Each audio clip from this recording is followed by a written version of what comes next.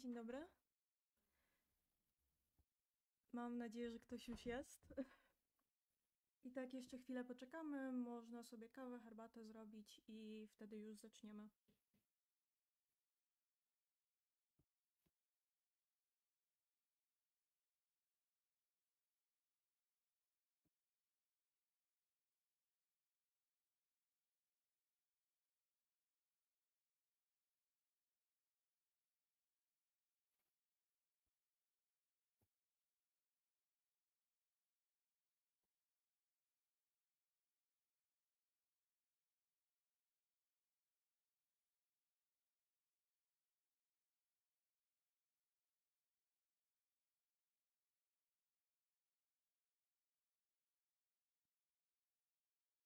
Dobra, to będę jeszcze próbowała w takim razie ustawić głośność. Jeśli ktoś byłby w stanie mi powiedzieć, czy jest wszystko dobrze, to byłoby super.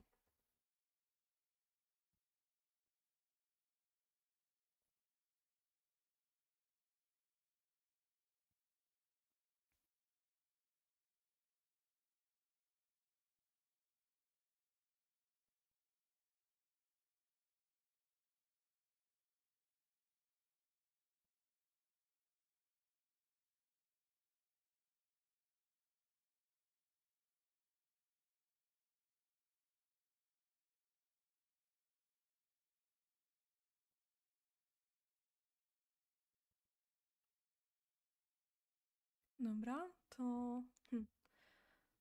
mam nadzieję, że będzie lepiej. Najwyżej spróbuję, nie wiem, mówić głośniej, albo tu się jeszcze ustawieniami pobawię. Gosiu, jakbyś mogła mi napisać, proszę. Czy jest lepiej, chociaż trochę?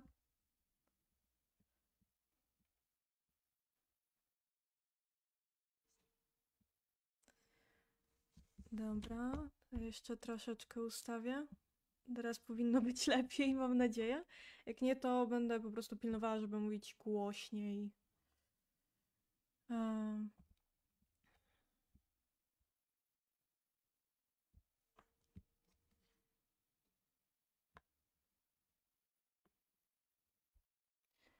Dobra, to trochę dziwne już. Em, No dobra, to ewentualnie proszę, żeby sobie podkręcić głośniki, bo mikrofon, który na ten moment posiadam, nie bardzo pozwala mi mieć głośniej.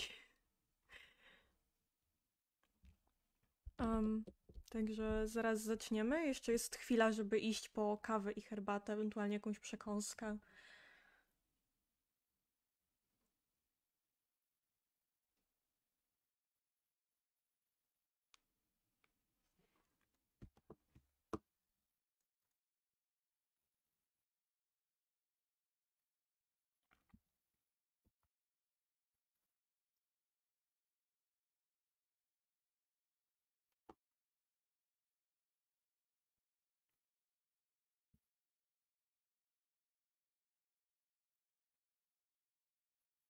Dobra, to w takim razie będziemy zaraz zaczynali. Już tutaj odpalę prezentację. O. Mam nadzieję, że wszystko dobrze widać.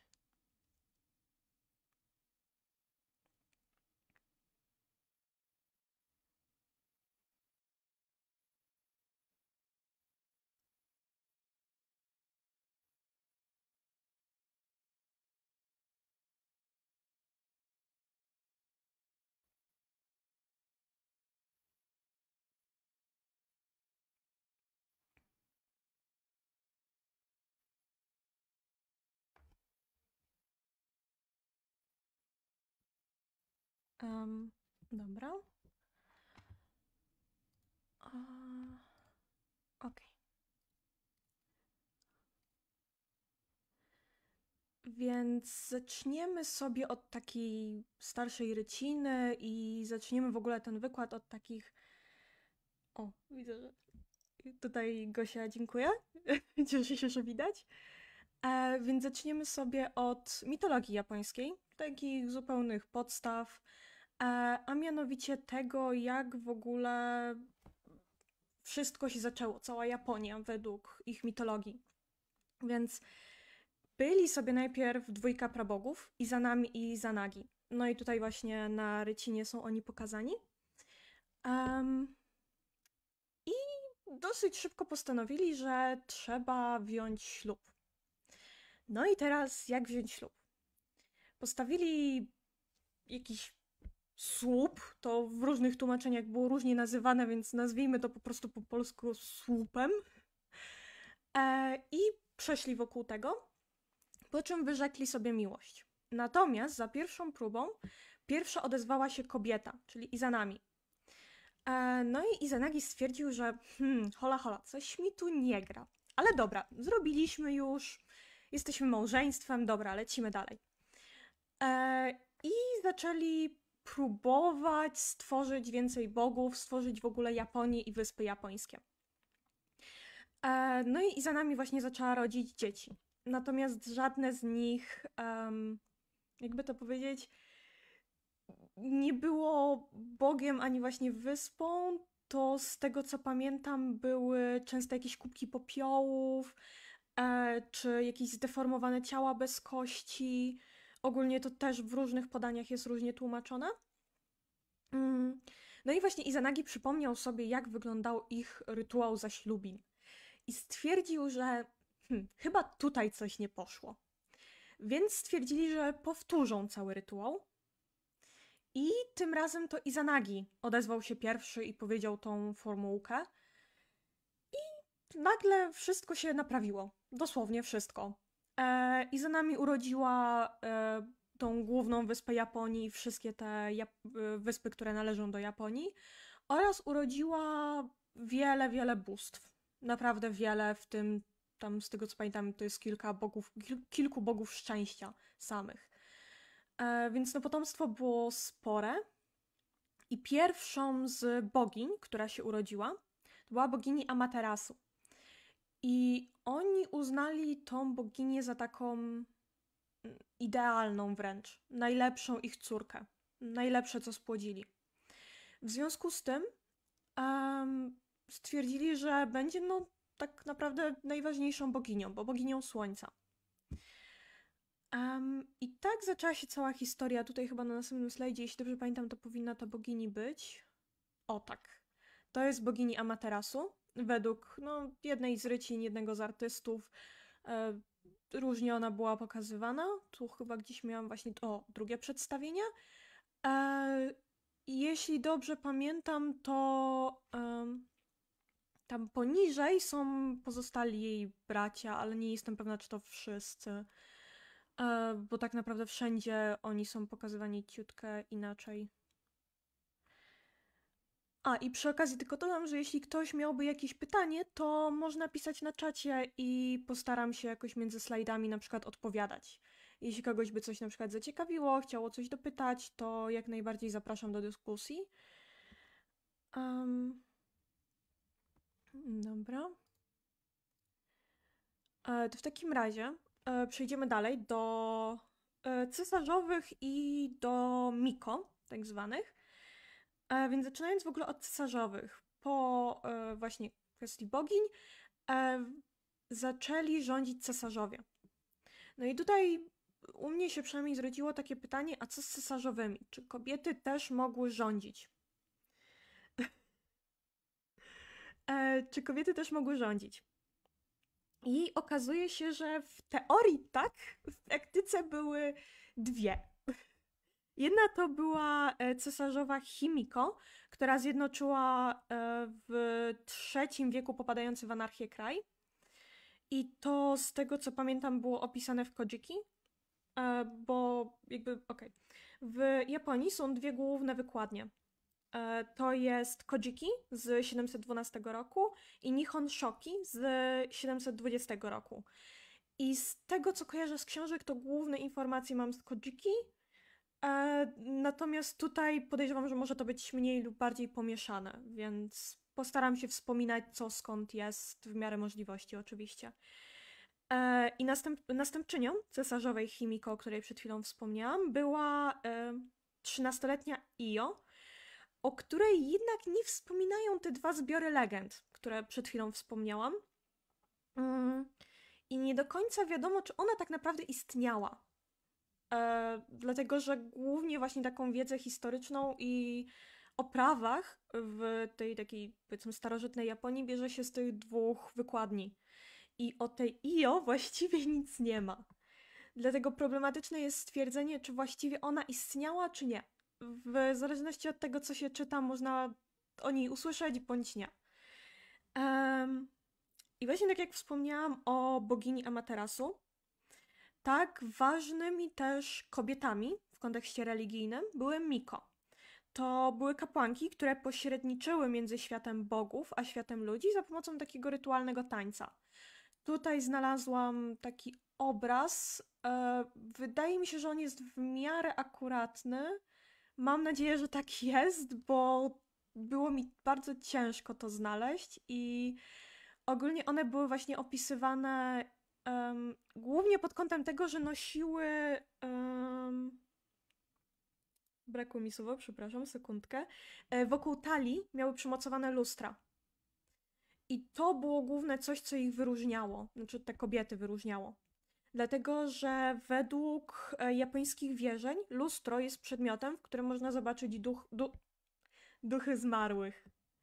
E, dlatego właśnie kiedy te kapłanki Miko odprawiały swoje rytualne tańce, dlatego nosiły te lustra, żeby skierować e, ten świat duchowy w kierunku ludzi i móc się z nim połączyć.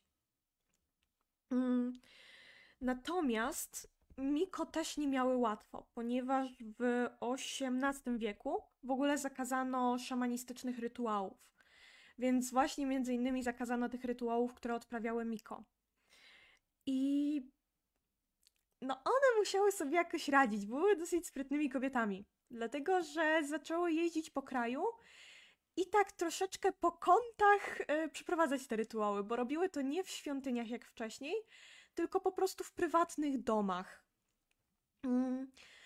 Po prostu szły do jakiegoś większego domu, tam mówiły, nie wiem, że zostaną sobie na noc, wykarmi, mają wykarmić te kobiety, a one odprawią im właśnie to połączenie ze światem bóstw. I dzięki temu jakoś tam ich to życie się toczyło. E, jednak im e, silniejszy stawał się wpływ wojska, czyli ten taki wpływ męski, tym słabszy stawał się jednocześnie wpływ Miko na ludzi. I ich pozycja coraz bardziej spadała.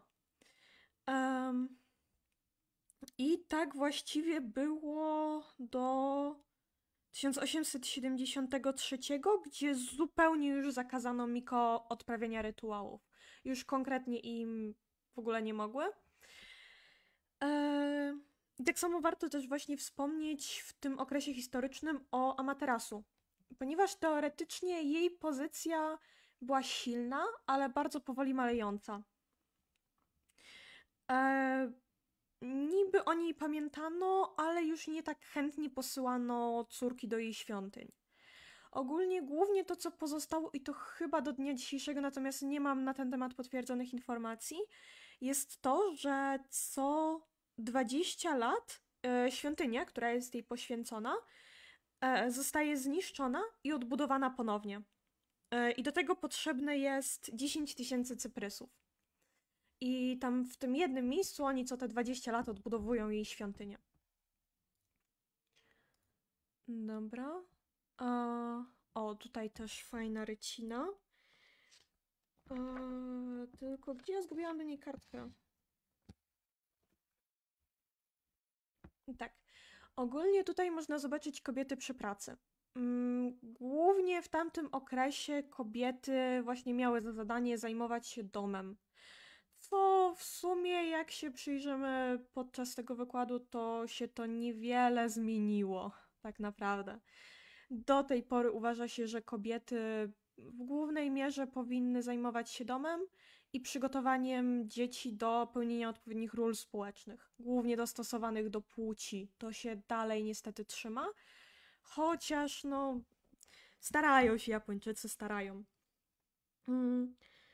Ogólnie początkowo te wartości, które były propagowane przez władzę wojskową, starano się wpajać także kobietom. E, I szczególnie w okresie Kamakura e, miewały one troszkę więcej swobody niż te w poprzednich dekadach.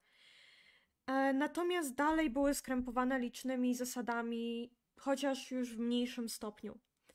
Pewnie kojarzycie z filmu, jeśli się pojawiały właśnie jakieś tam japońskie kobiety, że mężczyźni rozmawiali z nimi za takich papierowych e, ścian, jakby. Um, nie, nie wiem do końca, jak to nazwać. To chyba było też w filmie Mulan pokazane, ale mogę się mylić. E, bo to też w Chinach było, z tego co pamiętam.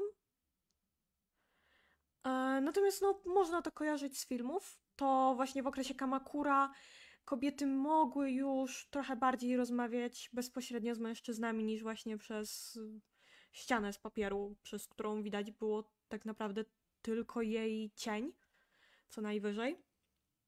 Mm, nie musiały też nosić długich włosów ani szat w odpowiednim kolorze i kształcie. Co można trochę skojarzyć z tym, jak było w Polsce. E, mam na myśli, że do konkretnej jakby rangi społecznej przypisany był raczej kolor. W sensie ci bogaci gdzieś tam się w jakieś fiolety, kolorowe rzeczy ubierali, a ci z niższego rzędu um, robotnicy na przykład raczej chodzili w jakichś brązach czy zieleniach. Już też nie do końca pamiętam tego rozdzielenia kolorystycznego. Um, natomiast właśnie mogły odbywać dużo częściej wprost, nie zaś za papierowymi parawanami. O, parawan się to nazywało. Um, I co też ciekawe, E, co było właściwie w głównej mierze w tym okresie Kamakura, nie wcześniej i później też już trochę im to zabrano, to było to, że kobiety mogły stać się pełnoprawnymi właścicielkami ziemskimi, kiedy ich mąż umarł, na przykład w wyniku jakiejś wojny, walki itd. Wcześniej tego nie było. Wcześniej kobiety tak naprawdę musiały sobie radzić same, a dziedziczył w głównej mierze męski potomek tego mężczyzny. E, i ten okres Kamakura, tak dla jasności, był e, około XII-XIII wieku. A, dobra, jeszcze zostaniemy chwilę na tym slajdzie, e, bo przemieszały mi się notatki. E, więc on sobie trochę zostanie. Mm. Przejdziemy do tematyki rodziny. E, w Japonii na szeroko pojętą rodzinę mówi się ie. I to nie jest też tylko um, ta taka rodzina, mam na myśli rodzice na przykład. Tak jak my często mówimy, że to jest moja rodzina, mamy na, na myśli z reguły tą najbliższą rodzinę. Czyli właśnie mamę, tatę, babcię, czy jakąś bliską ciotkę, wujka i tak dalej. Nie, dla nich to IE to jest bardzo szeroko pojęta rodzina, w tym nawet w okresie, kiedy była służba, wchodziła właśnie służba. To wszystko było szeroko określane jako IE. Um, I do tej pory też jest takie przekonanie, że rodzina składa, y, przepraszam, że Japonia składa się z rodzin, z tak zwanych koseki. E, I to nie jednostka ma znaczenie, pojedynczy członek tej rodziny, tylko rodzina jako całość. Tak samo na przykład całe rodziny były wpisywane do, tak, do koseki. I to były takie spisy, ale konkretnej rodziny. I teraz na przykład, kiedy kobieta wychodziła za mąż, to była przypisywana do koseki e, męża, rodziny męża więc już nie widniała w spisie swojej, że tak powiem, poprzedniej rodziny. Um, I też w okolicach XVI wieku ta relacja między, między mężem a żoną była bardzo hierarchiczna, co właściwie wywodzi się w głównej mierze z konfucjanizmu, który jest właśnie bardzo hierarchiczny. Ma kilka takich podstawowych zasad. Yy... Ojej, głos trochę przerywa. Dobra. Okej. Okay. Um. Tak, tak, to jest, kiedy się skorzysta z internetu na stacji. Mm. Dobra, co tu się dzieje? E, dobra, to ja może chwilkę poczekam, aż się internet ustabilizuje. Widocznie ktoś e, w mieszkaniu wpadł na pomysł pobierania czegoś. e, więc może to się z czasem uspokoi. Mam taką nadzieję. A w programie pokazuje mi, że nie jest najgorzej. Dobra. Także po prostu postaram się mówić wolniej, jakby kogoś ścinało. I myślę, że to załatwi problem. Um, to tak, na czym skończyłam? Muszę tu powrócić sekundkę do swoich notatek. A tak, e, że te relacje były bardzo hierarchiczne. I to w głównej mierze jest związane z ideą taką filozoficzną, czyli konfucjanizmem. W ogóle, tak troszeczkę zmieniając temat z rodziny, to Japonia bardzo lubi sobie brać rzeczy z Chin. Oni uwielbiają brać rzeczy z Chin. E, tak sobie wzięli na przykład właśnie konfucjanizm. E, głównymi takimi nurtami religijnymi jest właśnie konfucjanizm i buddyzm. Natomiast Japończycy nie są jakoś tam szczególnie bardzo wierzący. Chociaż myślę, że to też zależy od konkretnej jednostkowej sytuacji. Natomiast statystycznie, no, Japończycy nie są jacyś super wierzący. Mm. No i właśnie konfucjanizm przywędrował sobie z Chin. I teraz, co najbardziej zrobił w społeczeństwie, jeśli mówimy o tematyce kobiet? To zrobił to, że e, właśnie schierarchizował społeczeństwo. Mm, nie było to takie, nie wiem, podzielenie na kasty czy coś takiego. To była hierarchia pod kątem płci i wieku. Dlatego, że e, w tej idei filozoficznej uważają, że e, mężczyzna jest nad kobietą, a osoby e, starsze są nad osobami młodszymi. I tutaj mam na myśli różnicę wieku nawet roku. Mm, dlatego Japończycy z bardzo dużym szacunkiem odnoszą się do osób starszych. I to jakby wszystko polega na tym, że osoby młodsze muszą od, odnosić się z szacunkiem do osób starszych, a osoby starsze w stosunku do młodszych muszą się wykazywać taką, takim zrozumieniem, opiekuńczością, empatią i tak. I ogólnie, jeśli któraś ze stron zawiedzie, to tutaj jest bardzo ciekawy motyw, ponieważ wtedy um, druga strona też nie musi wywiązywać się ze, ze swojej części. I wtedy może dojść do rewolucji w społeczeństwie co jest według mnie dosyć ciekawym motywem. Nie wiem, na ile to się ma z tą rewolucją do czasów teraźniejszych. E, natomiast bardzo ta hierarchia pozostała dalej i to widać, nawet w kontekście tego, że oni do starszych osób z reguły odnoszą się z naprawdę wielkim szacunkiem. Mam tutaj na myśli, że um, Pewnie Państwo słyszeli w jakichś filmach, czy anime, czy jakichś takich różnych rzeczach, to gdzieś tam się kręci w popkulturze, nawet w Europie. To jest to takie zwracanie się imieniem, nazwiskiem i później um, odpowiednią końcówką, typu sensei, czyli nauczyciel, albo sama, czy san. To są wszystko takie, albo senpai jeszcze jest, z takich też wyższych. I to właśnie wszyscy się zwracają, ci młodsi do starszych. Na przykład nawet w szkole um, te dzieci zwracają się do starszych roczników, na przykład senpai. To ma być takie bardzo... E, to ma być właśnie takie okazanie szacunku, o którym mówiłam. Natomiast w e, tej powiedzmy starszej Japonii, starszej historii Japonii, miało to o tyle odzwierciedlenie, że w związku małżeńskim wyglądało to trochę tak jak relacja między seniorem a wasalem, gdzie seniorem jest oczywiście mąż. Um, teoretycznie to też jest takie dziwne, bo o tym można mówić e, bardzo wielorako. Z jednej strony właśnie jest ta hierarchiczność, z drugiej strony kobiety zajmowały się tak naprawdę wieloma rzeczami i mężczyźni wiele rzeczy im oddawali, bo oni wyjeżdżali sobie, przybierali zbroję samuraja i jechali tam walczyć z Chińczykami, Koreańczykami i wszystkim, z czym tam się bili w tamtym okresie.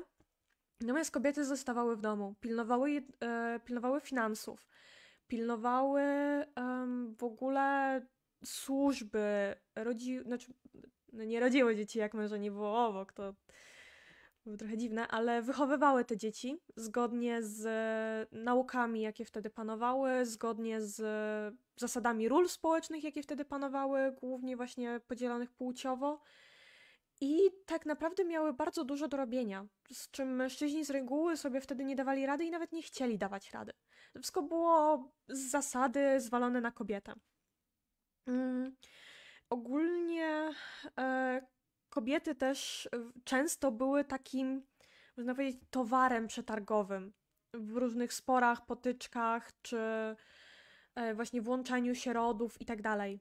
Były takie historie, których się doczytałam, streszczeń co prawda, że e, na przykład kiedy dwa rody chciały się ze sobą tam dogadać, to jeden na przykład wysyłał swoją córkę, czy siostrę, czy cokolwiek, ten, ta głowa rodziny, właśnie po to, żeby tamten mógł ją mieć i to miało być takie przypieczętowanie tego ta targu, nawet nie wiem do końca jak to opisać.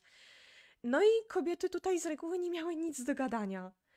E, większość takich trudnych sytuacji, o których będę opowiadała, zamykały się w trzech opcjach dla kobiety: zgodzić się i zrobić to, co mężczyźni chcieli, uciec i liczyć, że jakimś cudem przeżyje, gdzie kobiety niezamężne były bardzo napiętnowane, a szczególnie właśnie takie uciekające czy te po rozwodach. Ewentualnie mogły też popełnić samobójstwo. I tutaj też muszę zaznaczyć, że na samobójstwo w Japonii należy spojrzeć trochę inaczej niż my je postrzegamy. Dlatego, że w Japonii samobójstwo od wielu, wielu lat, e, raczej wieków, e, było postrzegane jako bardzo honorowy sposób wyjścia z twarzą z sytuacji. E, pewnie Państwo słyszeli o czymś takim jak seppuku. To polega na tym, że jeśli samuraj zhańbił właśnie swój honor, czy honor swojej rodziny, czy właśnie zrobił coś nieodpowiedniego i chciał wyjść z twarzą z tej sytuacji, to mógł popełnić samobójstwo takie mm, bardzo, bardzo honorowe. To polegało na tym, że oni y, siadali w specjalny sposób po turecku, trzymali swój samurajski miecz y, wycelowany w brzuch i musieli go tak wbić, żeby zabić się tym jednym ciosem, a jednocześnie nie upaść. Dlatego, że kiedy upadli, to ponownie tracili tak właściwie twarz. E, I było też tak, że z tego nie można było się wycofać. I jeśli samuraj spękał, to jego uczeń musiał po prostu, tak powiem, kopnąć w ten miecz i wbić mu w brzuch. Trochę, trochę brutalne, ale tak kiedyś to rozwiązywano. E, tak, a jeśli już mówimy o brutalności i o krwi, to przez bardzo długi czas kobiety, które miesiączkowały, nie mogły przebywać ze swoją rodziną. To też jest w wielu krajach, e, w takich dawniejszych czasach mówione. Mm, natomiast w Japonii też to było właśnie obecne. I one nie mogły przebywać z rodziną w głównej mierze w trakcie spożywania posiłków. I mogły, to też zależy od konkretnego regionu Japonii, natomiast często przebywały one w, tak, w takiej specjalnej chacie, i ona była nazywana na przykład miesięcznym domem, czy w ogóle innym domem, albo domem do odpoczynku. Tak bardzo delikatnie, jak na wyganianie miesiączkującej kobiety z domu, żeby sobie jakoś sama radziła w innym domu. Um, natomiast jeśli już była jakaś taka rodzina, jakiś taki rejon, gdzie tej kobiecie pozwalano przebywać w tym okresie w ogóle z rodziną, um, to nie mogła ona spożywać z nimi posiłków przy jednym stole. Miała ona wtedy swój wyodrębniony stół, miała tam swoje jedzonko i po prostu musiała jeść sama. Natomiast no przynajmniej była w domu. I to się wywodzi z jednej z buddyjskich, tym razem sutr, z sutry krwistego stawu, gdzie mówi się o tym, że kobiety lądują w piekle e, właśnie za karę. Dlatego, że ich krew menstruacyjna jest zanieczyszczona, tak samo jak ta krew z porodu. I dlatego właśnie one automatycznie lądują w jakimś takim właśnie ich piekle, według buddyzmu. Mm. I z tego powodu narodziła się tradycja, która nazywana, nazywa się Nyonin Kinsei, czyli w naszym tłumaczeniu kobietą wstęp wzbroniony. I to, o czym mówię, było mniej więcej w XIV wieku, bo wiem, że trochę skaczę historycznie, więc postaram się zaznaczać w miarę możliwości, kiedy co było. Eee, I do ogólnie do sutry w oryginalnym brzmieniu e, to było skupienie w, głównie na takim e, fizycznym zanieczyszczeniu krwią. Natomiast w okresie Edo dopisano też zazdrość, chciwość i zły charakter kobiet, a nawet była to też bezdzietność. Także jak to zaczęłam czytać, to miałam wrażenie, że właściwie oni już z reguły stwierdzili, że kobiety mają wylądować w piekle, że dla niej nie ma innej opcji. Także e, nie czytałam już tutaj więcej, muszę się kiedyś może dokopać do jakiegoś dobrego tłumaczenia i o tym poczytać. Mm, natomiast z tym Nionin Kinsei wiąże się też kwestia, dlaczego góra Fuji była tak długo niedostępna dla kobiet. Właśnie dlatego, że no, kobietom wstęp wzbroniony na górę Fuji był przez wiele, wiele, wiele lat. E, mniej więcej do XIX wieku aż. Kobietom w ogóle nie wolno było tam wejść. Natomiast ci kapłani, ponieważ jak jest góra Fuji, e, dla tych, co może nie wiedzą, góra Fuji to jest najważniejsza góra w Japonii. Ona jest na tych wszystkich takich pocztówkach. Jakbyście kiedyś chcieli wysłać rodzinie, bo będziecie w Japonii, to bardzo prawdopodobne, że kupicie pocztówkę z górą Fuji, bo ona jest taka bardzo kojarząca się z Japonią. I ogólnie Japończycy do tej pory uważają, że przynajmniej raz powinno się wybrać na górę Fuji. To jest taka tradycja, taka zasada, że powinnaś chociaż raz pójść na górę Fuji. No i kobietom właśnie do niemal jakoś XIX wieku nie było wolno tego zrobić. I wokół tej góry Fuji, u jej stóp, znajduje się wiele świątyń. No i teraz kapłani troszeczkę płakali, że mają przez to zmniejszone dochody, bo kobiety nie mogą. Więc w pewnym momencie dopuścili kobiety do podnóży gór. Natomiast dalej Nionin Kinsei nie wolno, kobietom nie wolno. I e, tutaj coś, co przytoczę sytuację, jest troszeczkę mityczne. Nie pamiętam, czy ją do końca potwierdzono historycznie. Natomiast pierwszą, pierwsza kobieta, która weszła na górę Fuji, zrobiła to ponoć w stroju mężczyzny. Dlatego, że dalej im nie było wolno. Ona chciała, chciała to przełamać. Już tam powoli zaczynali się co do tego zgadzać, że no może jednak pozwólmy kobietom, świątynie zarobią i tak dalej. Mm. I ona właśnie chciała wejść na szczyt góry Fuji. I zrobiła to w przebraniu mężczyzny, co jest dosyć znamienne do dnia dzisiejszego, że pierwsza kobieta, która prawdopodobnie zdobyła górę Fuji, zrobiła to w stroju mężczyzny. Um... Czy ja się znowu zgubiłam? Wróć kartką. Um... Teoretycznie nie, więc lecimy dalej. Um do tej pory pokutuje w ogóle też takie w Japonii przekonanie, co chciałabym się kiedyś przekonać i pojechać tam, a nie tylko mówić to, co wyczytałam w książkach, bo jednak osobiście lepiej potwierdzić taką wiedzę, to ponoć w Japonii jest zupełnie na odwrót w kwestii etykiety niż w Polsce, w Europie w ogóle. Ponieważ w, Europie to mężczyźnie wypada przepuścić kobietę na przykład w drzwiach, e, odsunąć jej krzesło, kelner pierwszy przyniesie, e, poda najstarszej kobiecie e, jedzenie. Natomiast w Japonii ponoć jest nie do końca tak. I historycznie tak było, do tej pory chyba też się to utrzymało, natomiast no mówię, chciałabym jechać potwierdzić. To jest tak, że to mężczyzna pierwszy właśnie na przykład wsiądzie do samochodu, e, to on pierwszy wejdzie przez drzwi, to jemu pierwszemu y, kelner przyniesie posiłek. I też na przykład, kiedy brali taką mm, kąpiel, e, to pierwszą, pier... pierwszą osobą, która brała kąpiel, był mężczyzna. Dopiero po nim do wanny do, z tą samą wodą mogły wejść, mogli wejść synowie, później córki, a na sam koniec żona.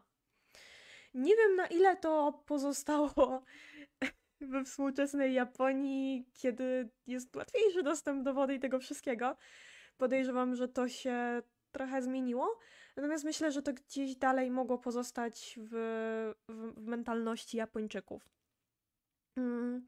Skoro już mówimy o Europie i europejskiej modzie, to po upadku shogunatu w 1868 roku Japończycy dosyć mocno zachłysnęli się modą europejską i w ogóle kulturą.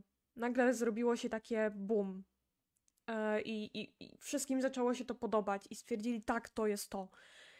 E, zaczęli łączyć te takie. No ogólnie zaczęli łączyć tradycje z tym, co europejskie. I im się to bardzo podobało. Mm, natomiast nie od początku dotyczyło to kobiet. Kobiety w minimalnie Japończyków miały pozostać e, takim wspomnieniem tej tradycji. one nie mogły pójść z nowoczesnością tak jak mężczyźni. Nie, nie, nie. Oni mieli, po, one miały pozostać tą piękną japońską tradycją. Um, tak. E, natomiast zaczęło się to i tak powoli zmieniać. Głównie to można zaobserwować w kanonie urody. I tutaj muszę się posłużyć notatkami. Um, ponieważ wcześniej kobiety miały wygolone brwi zupełnie, poczerniane zęby. E, miały też między innymi wybieloną cerę, dosłownie wybieloną, one to jakimś białym pudrem, czymś tak sobie to lubiły. To można u gejsz zobaczyć dalej. Właśnie tą taką białą po prostu jak ściana twarz, wymalowaną jakimiś specjalnymi preparatami. Mm, natomiast to właśnie po, y, między innymi takim triggerem do tego było wystąpienie cesarzowej w 1873 roku. I ona właśnie pokazała, jak powinny wyglądać te takie już nowoczesne kobiety. I tutaj mam na myśli długie włosy, białe zęby i niewygolone brwi. Dalej w urodzie Japończyków, i to zostało do dzisiejszych czasów, jest ta właśnie blada cera. E, można zobaczyć, jak oni w wakacje e, chodzą, nie wiem, z jakimiś takimi rękawami długimi, e, czy właśnie w okularach przeciwsłonecznych, jakichś kapeluszach zasłaniających całą twarz, bo dla nich właśnie piękna jest ta taka bardzo blada cera. Także mam dobrą wiadomość dla wszystkich anemiczek, jesteście piękne w Japonii. e, tak, ja bym się podejrzewam, mi też spodobała, bo jestem blada jak ściana. Także e, podejrzewam, że pod tym względem tak. Mm, I teraz lecimy dalej. Um, I tutaj ta moda bardzo skakała, ponieważ raz oni stwierdzali, że chcą nowoczesność, raz stwierdzali, że wolą tradycję. Tutaj właśnie e, w 1900, 1800, przepraszam, 98 roku został przyjęty przez polityków nowy kodeks cywilny, który wprowadzał coś takiego, że kobiety nie mogły podpisać kontraktu bez zgody męża. Musiały mieć jego zgodę. I to był cios dla wielu kobiet. E, następnie, według tym razem prawa kryminalnego z 1908 roku, e, mężczyźni mogli zdradzać kobiety ile chcieli i kobiety nie mogły z tym nic zrobić. A jedynym warunkiem tego, żeby facetowi było to wolno, było to, że ta kochanka nie mogła być czyjąś żoną. Współczuję tym żonom. Na, naprawdę. To... Nie mogły z tym nic zrobić. e, natomiast w 1910, czyli dwa lata później, mm, zostało przegłosowane przez mężczyzn oczywiście, że wtedy byli u władzy, zostało przegłosowane kolejne e, prawo, które zupełnie zakazywało kobietom wstępu do organizacji politycznych i w ogóle udziału w spotkaniach o, o takiej naturze. W ogóle, no, no, no nie, kobiety nie miały się mieszać do polityki. E, I ta przepaść, która zaczęła pojawiać się między tą sferą publiczną, czyli sferą męską, no, zaczęła się bardzo rozdzielać od tej sfery kobiecej, czyli sfery prywatnej. To, co publiczne było właśnie przypisane dla, dla mężczyzn, polityka, jakieś takie tego typu sprawy, to byli mężczyźni. Natomiast wszystko, co prywatne, w domu zamknijmy sobie kobietę, niech ona tam się zajmuje w swoich czterech ścianach. Najlepiej to w ogóle nie wychodzi, bo, bo, bo, bo jeszcze się w jakieś spotkanie o naturze politycznej zamiesza. Daj, przepraszam, przerwa na łyk kawy. Można też sobie zrobić przerwę na kawę, jakąś przekąskę, polecam. Fajne takie są rzeczy do wykładu. Mm, tak. I ogólnie tutaj już znajdę datę. Tak. E, jeśli chodzi natomiast o same prawa wyborcze dla kobiet, to zostały one, one przez nie uzyskane w 1946 roku dopiero, co jest później niż w Polsce. Mm, natomiast potwierdzone jako tako zostało w 1917. E, tak, e, więc może z polityki przejdźmy do edukacji, bo to przecież wiemy, że się ze sobą łączy. Jak ktoś był inteligentny, to nie mógł iść w politykę. Więc e, przed rozpoczęciem w ogóle epoki Meiji, Meiji edukację kobiet uważano za coś zbędnego, a nawet w takich sferach, um, kręgach wiejskich, takich biedniejszych, było to uznawane wręcz za coś szkodliwego dla kobiety.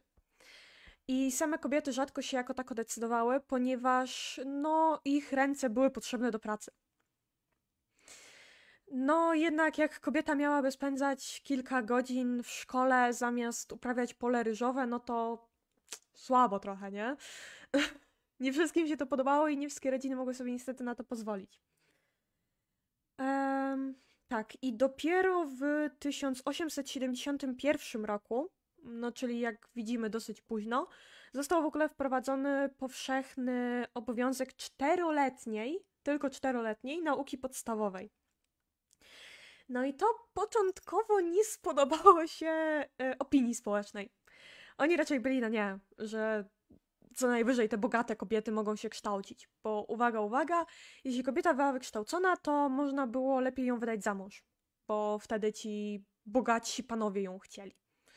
I tak właściwie to było tylko do tego. I tam proszę się nie łudzić, że ją uczyli, e, nie wiem, jakiegoś tego. Yy, zabrakło mi słowa oficjalnego japońskiego, takiego. Nie, nie, nie, nie, nie, ich nawet matmy nie uczyli za bardzo. Te kobiety uczyli, jak wyszywać, jak gotować, jakieś przepisy etyki. Przepraszam, słyszałam współlokatorów. E, tak, i e, na czym ja? A tak, mm, była cała w ogóle książka, tylko nie wiem, czy ja mam to zapisaną tą japońską nazwę. Ojejku, proszę. Eee, nope. Eee, I to była książka, która miała takie przypowieści, można to nazwać, dla kobiet, jak one mają się zachowywać. I tam na przykład przykładem takiej przypowieści było to, że um, kobieta oddała wszystkie swoje oszczędności mężczyźnie, żeby ten mógł kupić konia i wyruszyć na jakąś bitwę. I to był przykład takiej dobrej kobiety, która zrobiła dobrze dla swojego męża. Tak. I tego ich uczyli w szkole, te kobiety, że właśnie mają się w ten sposób zachowywać. Oczywiście mówili też, jak e, wychowywać kobiety w zgodzie z tymi wszystkimi ideami wartościami, które wtedy były i tak dalej, i tak dalej, i tak dalej. Mm. I tutaj kolejne daty. W 1872 roku wdrożono system, który zakładał już trzystopniową edukację. I to jest podobnie jak u nas, czyli e, podstawowa, średnia i wyższa edukacja. Natomiast, żeby nie było tak pięknie, to według statystyk z 1873 ponad połowa mniej dziewcząt uczyła się szkołach podstawowych niż chłopcy. E, przez długi czas w ogóle nie istniało żadne prawo mówiące o edukacji dziewcząt w szkołach średnich i wyższych. Z reguły już, był, już była taka zabawa dla bogatych i ambitnych, ale to tak bardzo.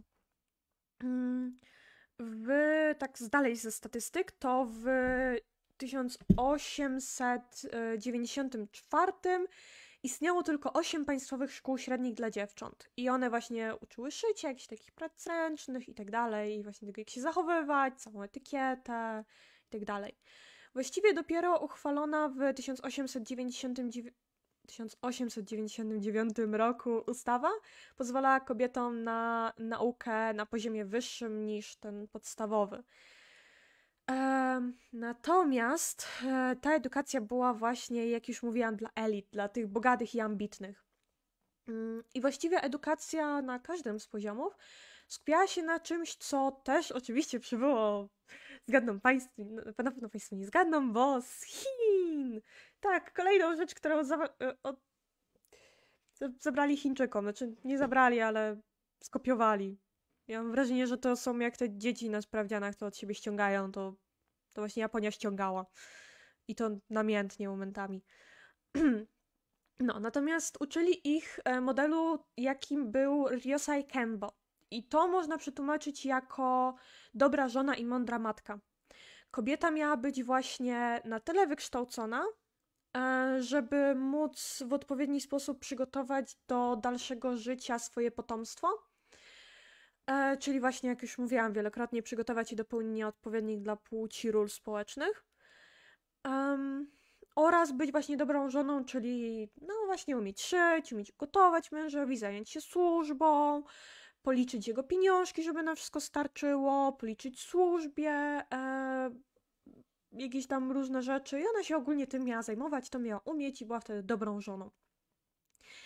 I dalsza część statystyk. W 1911 roku szkołę podstawową skończyło zaledwie 3,5 miliona dziewcząt, natomiast w szkołach wyższych było już ich tylko 72 tysiące, więc to jest zaledwie jakiś niewielki ułamek w ogóle tych wszystkich kobiet, którym się już udało skończyć um, szkołę podstawową. Um, no i właśnie kobietom wpajano takie ślepe tych szkołach, wpajano im ślepe posłuszeństwo wobec mężczyzn. Taka najlepsza żona to była taka słuchająca się męża i wykonująca polecenia. Mm, no i ogólnie kobiety nie powinny zbyt dużo mówić, czy, czy być zazdrosne, czy kłamać, bo te cechy nie były raczej pożądane przez japońskich mężczyzn w tamtych czasach. Natomiast jeśli już się trochę nie dobrali, bo w ogóle w Japonii większość ślubów było aranżowanych. E, aranżowała je z reguły rodzina, mówiła, że dobra, to ty wychodzisz za, za, za tamtego samuraja, bo on jest dobry, ma dużo hajsu, to będzie dobrze ogólnie. No i kobieta z reguły nie miała wiele do powiedzenia. I nieważne, czy on tam ją bił, czy, czy cokolwiek, niewiele mogła zrobić tak naprawdę. Prawo jej nie dawało żadnych praw. Um, tak samo na przykład kobiety nie mogły wziąć rozwodu przez wiele, wiele, wiele lat. Tam, ojejku, nie mam niestety daty, kiedy to się zrobiło w miarę powszechne. Natomiast e, kiedy kobieta chciała no, nie być ze swoim mężem, to miała trzy wyjścia.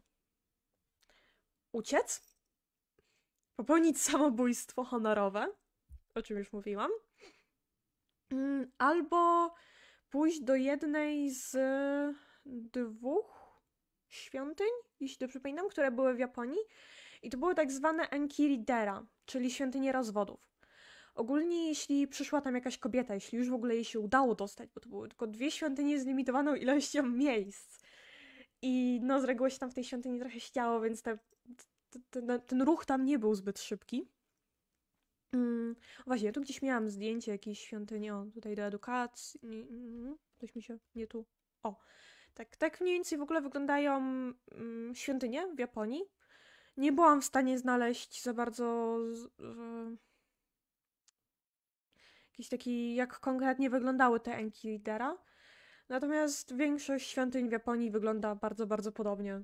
Więc yy, myślę, że jak to Państwo zobaczą, to, to wystarczy. Hmm.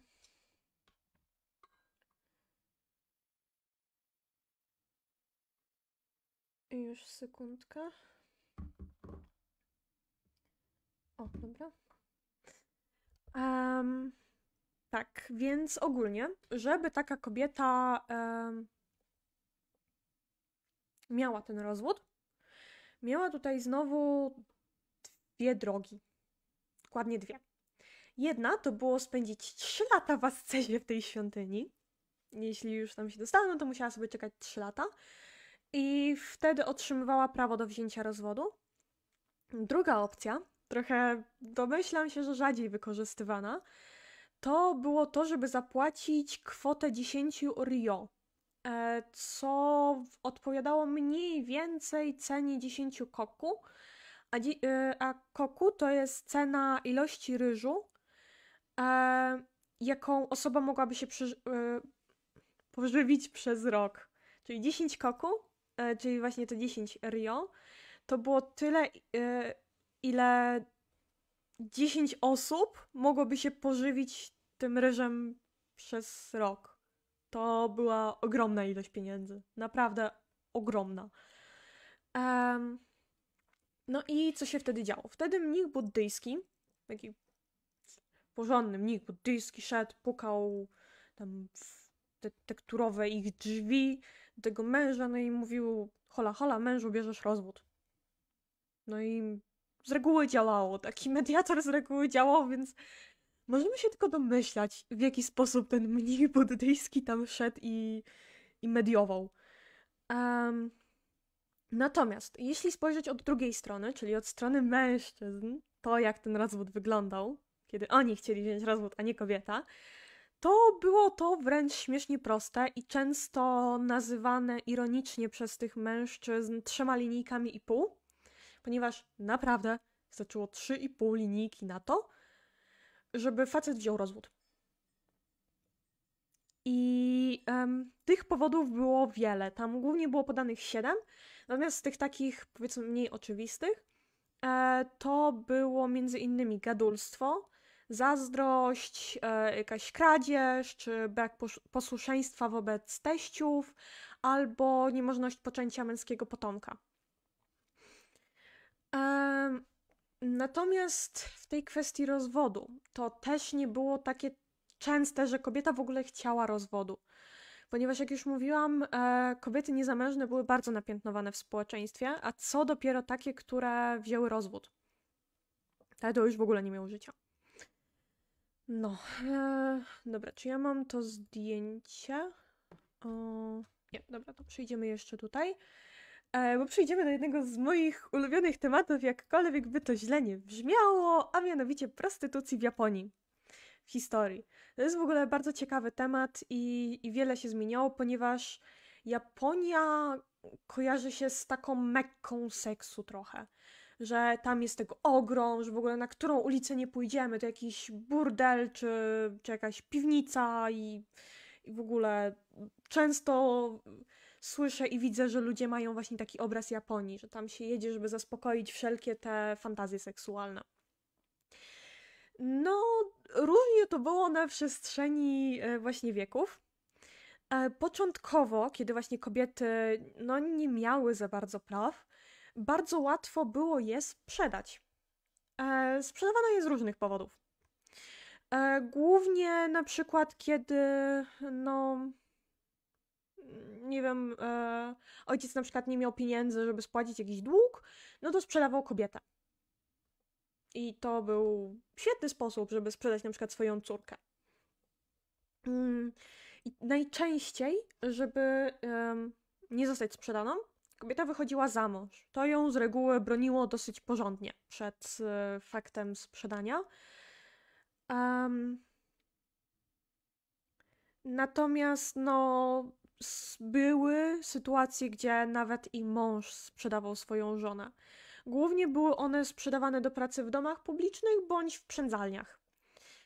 I w sumie ciężko mi stwierdzić, która opcja była gorsza, bo one tak czy siak nie dawały z reguły rady przeżyć dużo. I no, tych pieniędzy też nie zarabiały tam no, zbyt dużo, nie były zbyt dobrze traktowane i ogólnie raczej mówi się, że te kobiety to tam co najwyżej kilka miesięcy żyły. Jakieś tam najsilniejsze to może z rok przeżywały. I co prawda pierwsze restrykcje, jeśli chodzi o handel ludźmi, zostały wprowadzone w 1616 roku. Tak w praktyce, jak wiemy, prawo a praktyka to trochę dwie inne rzeczy. E, w skrócie wyglądało to tak, że dalej kobiety padały ofiarą różnych transakcji, tylko było to dużo bardziej po ciemku, że tak powiem. E, według statystyk e, do 1924 roku ponad 50 tysięcy Japonek mieszkało w domach publicznych, co jest sporą liczbą, nie ukrywam. Mm, I ogólnie właśnie, żeby spłacić ten dług, bo z reguły nie wystarczyło, że ją tylko tam sprzedali, ona musiała jeszcze zapracować, żeby spłacić ten dług. E, więc żeby spłacić ten rodzinny dług, musiały przyjmować ogromne ilości klientów. Często nawet im się to właśnie nie udawało, nie, nie dawały rady tego spłacić. Um, nie dawały rady tego spłacić i kończyło się to tak, że po prostu umierały. Bardzo młodo. Nie. Notatki. E, dobra. I teoretycznie, e, jako takiej prostytucji, Japonia zakazała gdzieś w okolicach końca II wojny światowej, albo już po końcu II wojny światowej. I wtedy zostały zamknięte tak zwane dzielnice czerwonych latarni. Jednak, jak można się spodziewać, prawo a rzeczywistość, e, to prawo było tylko pozorami i to takimi pozorami grubymi nićmi szyte, naprawdę, ponieważ e, cały proceder wciąż miał oczywiście miejsce, tylko no, jak zwykle schowany w cieniu. Kobiety zamiast do burdeli e, sprzedawano też do przędzalni i pracowały tam w okropnych katorżniczych warunkach, żeby zarobić też trochę pieniędzy. I tutaj taka ciekawostka, mm, przynajmniej mnie bardzo zainteresowała, nadzieję, że Państwa też. E, w czasach II wojny światowej e, japoński rząd ogólnie wtedy Amerykanie okupowali Japonię i sobie tam siedzieli wygodnie. Japoński rząd stwierdził, że dobra, mamy okupantów, to może się trochę im przypodobajmy. I e, zaczęli e, zatrudniać tak zwane pocieszycielki. To były kobiety, które miały pocieszać amerykańskich e, żołnierzy. I właściwie tym kobietom no, nie mówiono, co mają robić. Um, tak naprawdę to no, miały pocieszać w sposób fizyczny tych y, żołnierzy. Tak naprawdę stworzyli burdele dla y, tych amerykańskich żołnierzy. Część z nich, y, ten, część z tych kobiet udawało im się zrezygnować, natomiast, no jak wiadomo, nie wszystkim. Część z nich po prostu popełniała samobójstwo albo no, musiała to znosić, żeby zarobić. Um, i właściwie to po kilku miesiącach funkcjonowania takich miejsc zostały one zakazane przez Amerykanów. Natomiast, jak wiadomo, było to tylko na papierze, ponieważ w rzeczywistości cały proceder miał się naprawdę bardzo, bardzo dobrze. E, I z tych takich ciekawych rzeczy jeszcze, to właśnie dosyć szybko zaczęły się e, rozprzestrzeniać choroby przenoszone drogą płciową, i no, żeby biedni Amerykanie nie musieli chorować i cierpieć, to były wywieszone takie karteczki na drzwiach do tych budynków, natomiast jak się można domyślić, to średnio ich odstraszało. Jeszcze co do samych tych kobiet, to one oprócz e, bycia nazywane pocieszycielkami, były też nazywane no, prostytutkami albo nocnymi motylami. Natomiast co ciekawe, najpopularniejszym e, określeniem była zupełnie przypadkowa zbitka sylab i było to pan pan. Pan myślnik pan. I to nie ma w ogóle, jakby same te y, słowa, sylaby nie mają same z siebie żadnego znaczenia, a właśnie w tej zbitce oznaczają one, no, prostytutki. Mm. I nierzadko właśnie te pan-pan musiały poszukiwać też klientów na własną rękę. Wiele też było przywożonych e, z Korei, jeśli dobrze pamiętam. One właśnie nie znały języka. Um, średnio często miały jakieś umiejętności, nie wiedziały za bardzo, co ze sobą zrobić, więc szukały na przykład klientów na ulicach. Mm. I co ciekawe, w tamtym okresie e, te domy publiczne były postrzegane przez społeczeństwo jako tak zwane publiczne latryny. E, było to miejsce, gdzie mężczyźni mogli zaspokoić te swoje takie potrzeby, naturalne zupełnie, i nie narażali tym honoru czystych e, japońskich dziewcząt. E, I właśnie pan pan były tutaj różnie postrzegane, ponieważ z jednej strony były symbolem wolności, z drugiej symbolem zniewolenia z jednej strony symbolem nocy, z drugiej dnia, piękna i brzydoty. Tak naprawdę mm, były bardzo różnie postrzegane, mm, dlatego też ciężko, ciężko mówić, czy to było pozytywne, czy negatywne zjawisko. Ono jest po prostu bardzo, bardzo szerokie.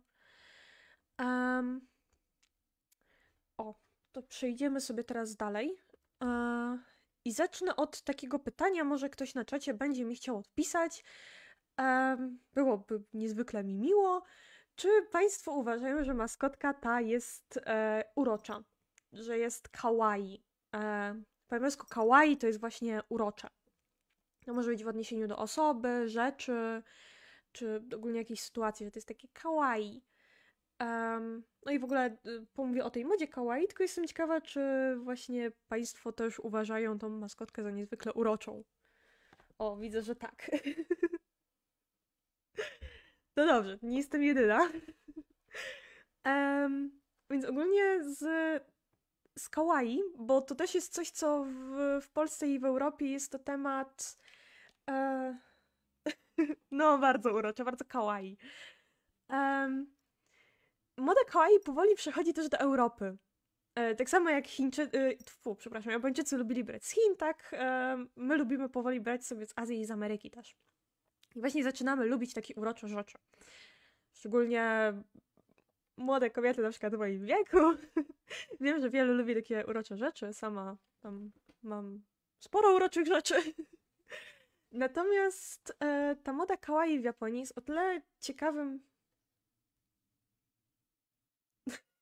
Tak, uśmiecha się, więc jest urocza, tak. Dokładnie. E, natomiast chciałabym, żeby Państwo spojrzeli na tą maskotkę z trochę może innej. No właśnie, jest trochę dziwna. O tym chcę właśnie powiedzieć. Jest trochę dziwna. Ponieważ pragnę zauważyć, że ma ona bardzo małe e, kończyny. Patrząc, w ogóle to jest poduszka. E, tofu. To ma przedstawiać tofu. Jakby ktoś nie, nie skumał, ja na początku też nie skumałam, to jest tofu. Poduszeczka z tofu. E, I ona właśnie ma bardzo takie malutkie rączki i nóżki. I teraz, e, no wydaje mi się, że gdyby ta maskotka ożyła, chciała stanąć na te swoje małe nóżki, to z tym wielkim ciałem mogłaby się nie utrzymać. Raczej na pewno. Te jej kończyny są zupełnie bezużyteczna. Um, co tutaj trochę kojarzy się z niepełnosprawnością. Um, z tym, że no kawaii, ale niepełnosprawna. Nie utrzymało samo by siebie, nie, takie tofu no nie poradziłoby sobie w życiu. E, miałoby problem z takimi kończynami. Um, można je właśnie uznać za niepełnosprawne. Tak samo tutaj można zobaczyć oczy. Są nienaturalnie duże. no i ten uśmiech uśmiecha się, ale jakby spojrzeć tylko na te oczy, to jest to taki bardzo pusty uśmiech. Więc tutaj mamy tak naprawdę. E... Tak, mi się... Dobry komentarz e, pani Moniko, mi też się skojarzyło z grą Kółko i Krzyżyk. Tak, miałam już taki nawet pomysł, żeby sobie taką sprawić, kupić jakieś takie chrupki w kształcie kółka i krzyżyka i sobie na tej poduszce grać, czy jakieś takie drewniane. To totalnie brzmi jak dobry pomysł. Ale wracając, e, maskotka ta wygląda właśnie na niepełnosprawną, bardzo przez to nie, bezbronną. Mm. I jak tak się na to spojrzy, to może. To... Przepraszam, zabrakło mi słów, pozbieram myśli. Um, wydaje się to trochę dziwne. Bo przecież powszechnie jest to uznawane za urocze. Natomiast kiedy się temu przyjrzymy, dostrzegamy coś wręcz karykaturalnego. I tak samo trochę jest z tą modą w odniesieniu do, do ludzi, do tego, jak się na przykład dziewczyny w Japonii ubierają. Nie pamiętam, czy tu wstawiam. O, tak, wstawiam jakieś zdjęcie, yeah. E, tutaj z góry przepraszam, proszę nie mówić tym panią. Ukradłam to z. Ukradłam, pożyczyłam. E, tutaj e, chyba umieściłam na końcu odnośniki. E, natomiast no, są to zdjęcia z internetu wzięte. Mm, głównie dla pokazania Państwu, jak to wygląda ta moda. Tutaj oczywiście wszelkie prawa należą do tych pań, czy tam do fotografów, które wykonały, wykonali zdjęcia. Natomiast jak widać właśnie jest tutaj e, bardzo duże skupienie na te duże oczy, małe usta, małe nosy, urocze pastelowe kolory i takie bardzo, taka bardzo dziewczęcość, taka wręcz dziecinność. To jest yy, jedna z mód, która jest teraz yy, w Japonii. To jest bodajże Lolita. Mam nadzieję, że nie przekręciłam nazwy, bo teraz wszystkie Lolity mnie zjadą. e, natomiast jakoś tak to się chyba nazywało. Mm, no i właśnie one się bardzo kojarzą z bezbronnością. Te kobiety stają się trochę takim znowu towarem, który ma się podobać e, mężczyznom. Oczywiście nie zaprzeczam tutaj i nie mówię, że to jest coś złego, nie zaprzeczam, że tym kobietom może się to podobać, bo no, no, no jest to ładne i jest to kawaii. Natomiast chciałabym właśnie zwrócić na ten taki społeczny aspekt tego, że bardzo y, teraz Japończyków pociąga bezbronność. Właśnie taka infantylność. Um, szczególnie właśnie w modzie, y, w modzie kobiet. E, dobra. O, i tutaj jeszcze e, to jest e, zdjęcie wszystkich wokaloidów. E, pewnie Państwo nie słyszeli. Wokaloidy to są, znaczy może i słyszeli, jak tak, to, to, to super. E, można w komentarzach napisać ulubionego wokaloida. Jeśli ktoś zna, słucha i tak dalej, e, bardzo będzie mi miło. E, natomiast taka zabawa na najbliższą minutę, kiedy ja będę sobie piła kawę, proszę znaleźć mężczyzn. tak. Wyzwanie proszę policzyć i znaleźć mężczyzn, można napisać w komentarzu. Można zaprzągnąć dzieci do szukania na przykład. Dzieci lubią takie szukania.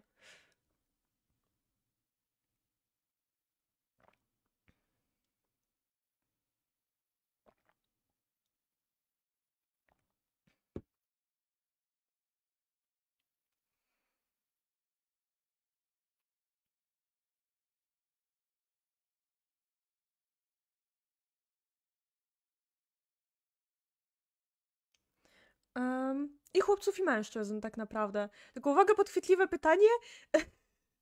To jest o tyle, że e, w japońskich animacjach e, dziewczynki lubią wyglądać jak chłopcy, a chłopcy jak dziewczynki, więc to jest czasami podchwytliwe pytanie. Um, tutaj, kiedy poprzednio prowadziłam ten wykład, to momentami bardzo się zastanawialiśmy, czy, czy to aby na pewno jest pan czy pani. Także to jest bardziej podchwytliwe pytanie niż Państwo myślą. I najłatwiej to chyba można tutaj tego, tego, tego starszego pana stwierdzić. Tutaj to podejrzewam, że może być też pan. Mm. No, ale często są tak zwane trapy. Um, tak na off-topie trochę, jak oglądam czasami anime, to myślę, że postać jest chłopcem, a potem się okazuje, że jest dziewczynką i na odwrót w tym właśnie podchwytliwe pytanie.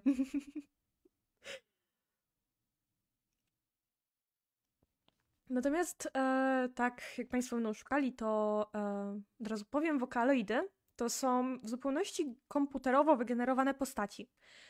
E, I ich głosy też są wygenerowane w zupełności komputerowo. I te wokaloidy śpiewają, tańczą, mają swoje teledyski. I uwaga, uwaga, mają na, też e, w rzeczywistym życiu koncerty. Podejrzewam, że jakoś to jest wyświetlane, nie wiem, nie byłam, chciałabym pojechać. Jeszcze mi nie było niestety dane. Natomiast tak, są koncerty na żywo wokaloidów. Najbardziej znanym wokaloidem jest Miku Hatsune. Nie wiem, czy ona nawet nie jest jakaś główna, taka powiedzmy. Tak. Dobra, może Państwo liczą, może nie, e, więc będę mówiła dalej. E, w trakcie trwania naszej małej zabawy. Mm, jak widać, jest tu znacząca przewaga e, dziewczyn. I tak samo w Japonii raczej jest więcej girls bandów niż boys bandów. Więcej jakichś takich grup dziewczęcych. E, właśnie kobiety mają pięknie wyglądać, być urocze, śpiewać.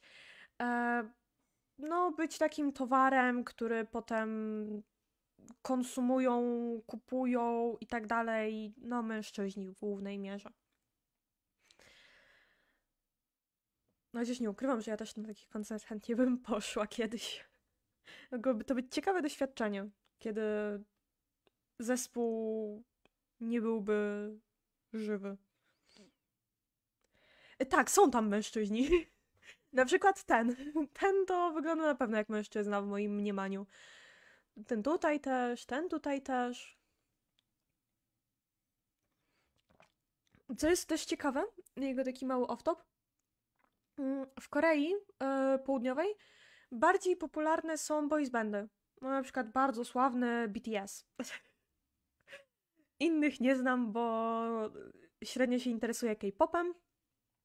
Mm, także ten natomiast tam raczej widuję boys bandy niż girls bandy. Tutaj właśnie u wokaloidów są raczej dziewczynki. Ale dobra, pójdziemy dalej. Mm, jak już mówiliśmy o popkulturze, to nie mówiłam jeszcze o kwestii pracy w Japonii. I ten temat jest bardzo rozbudowany i właściwie w niego zaczęłam się jeszcze zagłębiać. Mm, Dopiero zaczynam, bo tego jest dużo, a studia nie zawsze pozwalają na e, czytanie, czego bym chciała, bo muszę czytać nie zawsze to, co bym chciała. E, tak, natomiast praca, praca, praca. O, jest. Mm, W 2012 do władzy doszedł Abe Shinzo. I on był premierem. I o nim powiem jeszcze więcej, natomiast tutaj tylko wspomnę, że w tym momencie w rankingu Global Gender Gap Index, o którym też jeszcze więcej powiem, uplasowała się na Japonia na 101 miejscu. Na wszystkie państwa. I to było mimo e, polityki przez niego prowadzonej, czyli Womanomics. To była taka właśnie polityka nastawiona na kobiety. Na wyrównanie trochę em, tych nierówności społecznych, płciowych.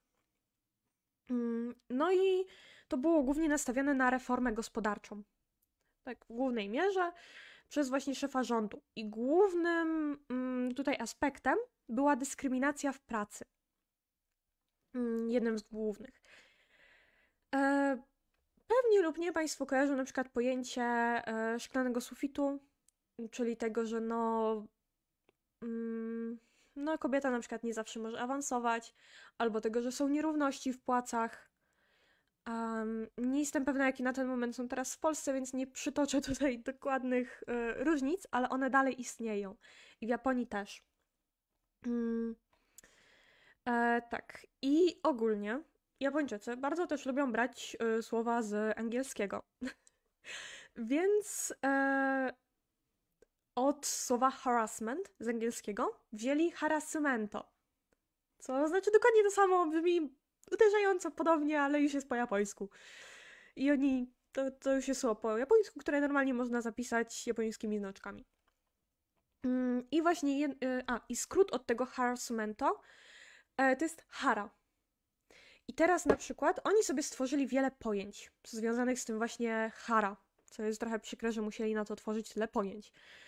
Em, Pierwsze takie i główne to jest pawahara, czyli nękanie ogólnie przez przełożonych. I to już nie jest związane konkretnie z daną płcią, jest to związane ogólnie z nękaniem przez przełożonych, co ma miejsce częściej niż byśmy chcieli. Szczególnie częściej niż Japończycy by chcieli, jak się można domyślać. Em, tak. E, dalej mamy z takich ciekawszych to matahara, czyli materna- maternity harassment. Jest to prześladowanie matek, e, czy ogólnie kobiet w ciąży. I tutaj mogę przytoczyć taką sytuację, którą wyczytałam w jednym artykule, który będzie w bibliografii, na pewno, to mogą sobie Państwo zerknąć. I tutaj niestety nie pamiętam imienia i nazwiska tej kobiety, więc tym bardziej polecam sobie sprawdzić. Wiadomo, to co napisane to jest, to jest lepsze niż to, co ktoś powie, bo ktoś może przekręcić, na przykład ja, tak przyznaję się, mogę coś przekręcić. E, jestem tylko człowiekiem. Mm, tak, i ta kobieta e, po powrocie, e, ona, ona była w ciąży i poroniła tą ciążę. E, kiedy wróciła do pracy po jakimś tam okresie urlopu, Pierwsze, o co została zapytana przez swojego szefa, to nie jest to, jak się czuje, czy może chciałaby więcej wolnego, czy na pewno da radę pracować, czy coś takiego. To, czego raczej byśmy się spodziewali w krajach europejskich. Mniej lub bardziej oczywiście.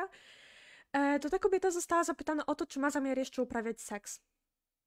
Dlatego, że japońscy pracodawcy no, nie są zbyt szczęśliwi, kiedy kobieta jest zmuszona do wzięcia wolnego tego macierzyńskiego i takiego przedporodowego.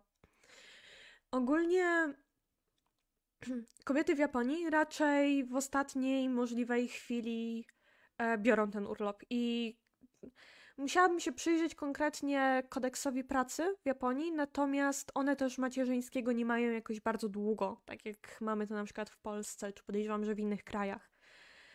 Em, tak, jest też e, prześladowanie ze względu na stan cywilny i to jest Marijihara. Mm, od marriage też, oczywiście z angielskiego. E, Japończycy tak lubią. Oni lubią ściągać, mam wrażenie, momentami, e, jak tak o tym wszystkim czytam. I jest to właśnie nękanie w głównej mierze kobiet i to kobiet singielek. Em, raczej em, to pozostało właśnie z tego, co mówiłam wcześniej, że kobiety niezamężne, singielki i e, rozwódki no raczej w społeczeństwie nie, ma, e, nie, nie są zbyt dobrze postrzegane. E, Jest też em, Eiji Hara i to jest związane z wiekiem. To dotyczy bardzo często też mężczyzn, Mm, niestety to nękanie, natomiast wiadomo, no niestety w głównej mierze kobiet. Mm, Chociaż tutaj mówię, musiałabym już się zagłębić w konkretne statystyki, żeby móc to mówić z pełnym przekonaniem, że tak jest. Em, tak, e, ogólnie też taka ciekawostka co do pracy w Japonii, mm, to em, jest bardzo taki krótki okres po studiach, kiedy oni zatrudniają. Dlatego, że właśnie przez tą taką hierarchię związaną z wiekiem, oni nie bardzo chcą, żeby na tym samym na przykład stanowisku pracowała osoba starsza i młodsza. Tam raczej ma znaczenie to, e, ile się przepracowało, niż jak się przepracowało. Czyli powiedzmy, że nie wiem, na jakiś awans wyżej to trzeba mieć przepracowane dwa lata w jakiejś firmie, a nie mieć takie i takie osiągnięcia, jak to jest bardzo często w krajach europejskich czy tam amerykańskich że bardziej się liczą papiery, osiągnięcia i tak dalej, niż y, oczywiście też doświadczenie takie czysto czasowe ma znaczenie, natomiast nie aż takie jak w Japonii. Tam często jest z góry tak, że się przepracuje ileś i się idzie poziom wyżej. Kolejne, nie wiem, rok, dwa i idzie się poziom wyżej. I dlatego też e, w Japonii pracuje dużo osób na stanowisku, które mogłaby na przykład wykonać jedna osoba. E, dlatego często są też takie zdjęcia, e, podobnie jak w Polsce, że no, no jeden robotnik kopie, a dziesięciu wokół patrzy. To właśnie jest dlatego, że e, oni zatrudniają naraz dużo osób i wcale im nie chodzi o wydajność. Plus jest taki, że dzięki temu, że mają ich aż tak dużo, to właśnie na przykład zaklepują dziurę w dwa dni, czy tam dzień, już nie pamiętam.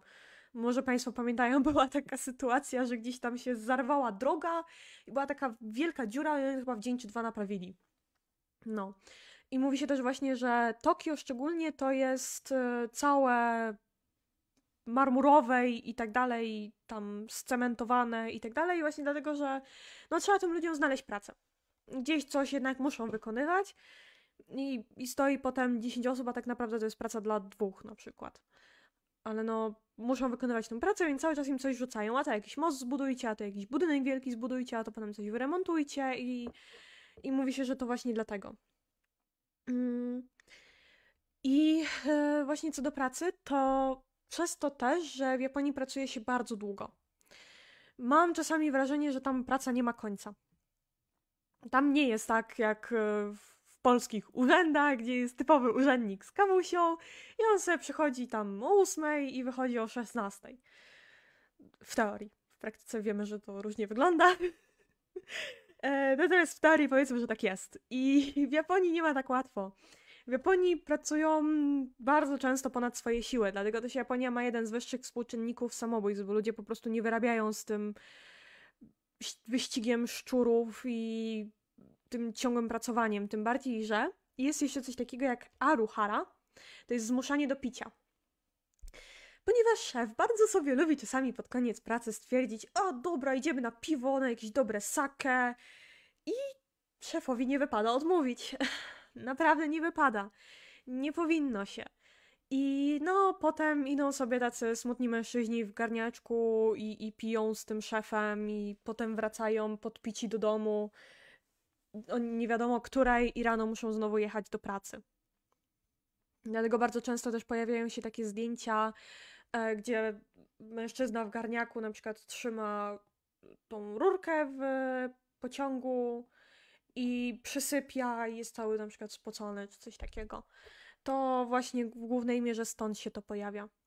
I właśnie stąd też bardzo niewygodne dla Japończyków jest, kiedy kobieta zajdzie w ciążę i właśnie urodzi dziecko ponieważ no, będzie potrzebować na przykład zwolnienia, bo dziecko się e, zachoruje, to trzeba będzie z nim zostać, trzeba będzie, nie wiem, pójść na zebranie do szkoły i nie będzie mogła zostać po godzinach. E, wiele innych takich sytuacji, które możliwe, że znają Państwo z, z własnego życia, mniej lub bardziej ewentualnie życia znajomych. e, tak. Więc im się to nie podoba. bardzo często kobiety muszą wybierać między pracą a rodziną. Wręcz mówią, że no, poświęcają się dla tej pracy bardzo, bardzo mocno. I dlatego też bardzo często, kiedy kobieta no, już zajdzie w ciążę i urodzi to dziecko, to musi tak naprawdę porzucić pracę. E, czytałam dziś też wypowiedź ogólnie kobiet w jednej książce, która zresztą będzie w bibliografii, to yy, pewnie zaznaczę, że warto ją przeczytać. um, i, I zgubiłam wątek. E... Momencik, proszę. E, tak, i ona mówiła, że e, mimo, że pracuje, musi się zajmować e, po kilka, kilka, kilkanaście godzin w tygodniu no, samym zajmowaniem się domu. I gdzieś tam były też przy tym samym czasie pokazane statystyki, że kiedy kobiety właśnie siedzą tyle godzin nad zajęciem się domem, to mężczyzna spędza bodajże 40 minut. To były słabe statystyki sprzed paru lat, chociaż myślę, że się wiele nie zmieniło. I tam był taki komentarz kobiety, który zapamiętałam, że jeśli mój mąż spędzi 10 minut w tygodniu przy pomaganiu mi w domu, to, to jest dobrze. Jakby 40 minut, ile, co? Um, dosyć znamienny był dla mnie, nie ukrywam, ten komentarz um, tej kobiety. E, tak, więc no, kobiety bardzo często muszą porzucić swoją karierę zawodową. To też możemy obserwować w Europie i w, w Polsce, czy no, w krajach europejskich. E, natomiast no właśnie zaznaczam to, że tak jest też bardzo silnie w Japonii, bo dalej właśnie mężczyźni uważają, że to kobieta powinna się tym wszystkim zająć, a nie oni.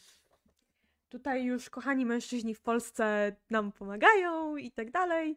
No w Japonii muszą się jeszcze nauczyć, jak zmywać naczynia i prać. Nie, czy ja odłożyłam kartkę, na której jeszcze coś miałam? O nie, nie, to wszystko. Dobra. Eee...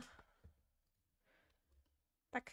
I wspomniałam tutaj o e, Global Gender Gap Index. Mm, tutaj widzę, że moja kamerka zasłania. Może ją trochę ruszę. O. Zmniejszę się na chwilę. O, dobra. Mam nadzieję, że zadziałało. Żeby Państwo mogli spokojnie te statystyki zobaczyć. To jest wszystko właśnie z e, Global Gender Gap Index Report. Mm, I tutaj widać porównanie Polski i Japonii. Niestety nie mogłam, nie wiem dlaczego dokopać się do PDF-a z 2019 roku. Także jeśli Państwo znajdą, to, to można sobie zajrzeć y, już we własnym zakresie. Natomiast y, widać tą przepaść między tym, na którym miejscu jest Polska, mimo że gdzieś tam można marudzić na to, jak mamy w Polsce. Tak, y, troszeczkę nie ukrywam, przestałam, kiedy zaczęłam się interesować tematem kobiet w Japonii. Naprawdę przestałam. Ogólnie tutaj e, zacytuję. E, po angielsku za chwilę też przetłumaczę po polsku. The report's gender gap index ranks countries according to calculated gender gap between women and men in four key areas health, education, economy, and politics to gauge the state of gender equality in the country. Czyli w skrócie oni e, ten raport robią na takiej zasadzie, że sprawdzają równość płciową w zakresie zdrowia, edukacji, ekonomii i polityki w krajach. Polecam sobie tak czy siak w ogóle poprzeglądać te raporty, bo można się czasami zaskoczyć. Tak jak ja się właśnie zaskoczyłam tym, że Polska sobie tak dobrze radzi.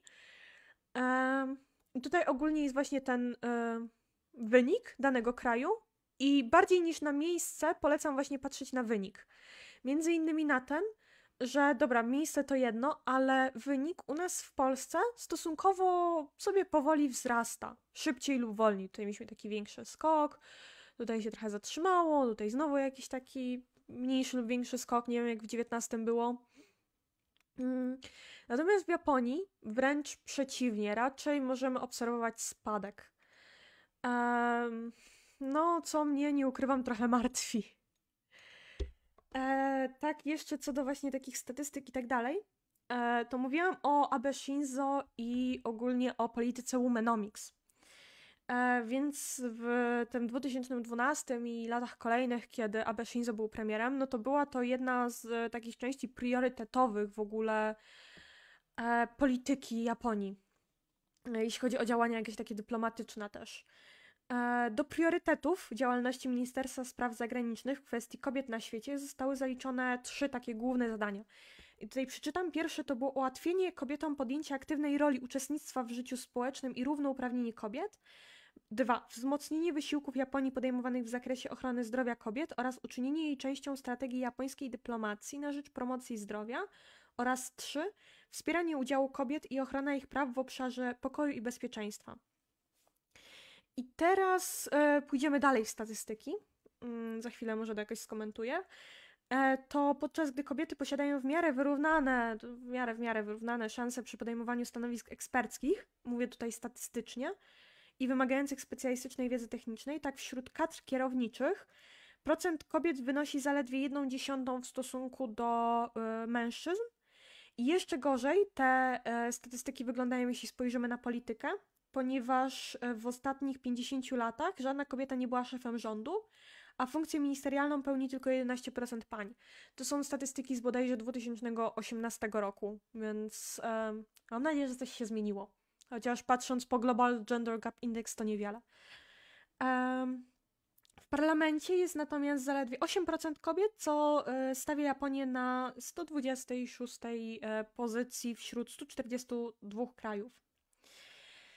Także jak widać zawodowo kobietom niezbyt dobrze się powodzi. Tutaj już może trochę powiększę swoją kamerkę, żeby mnie Państwo dobrze widzieli.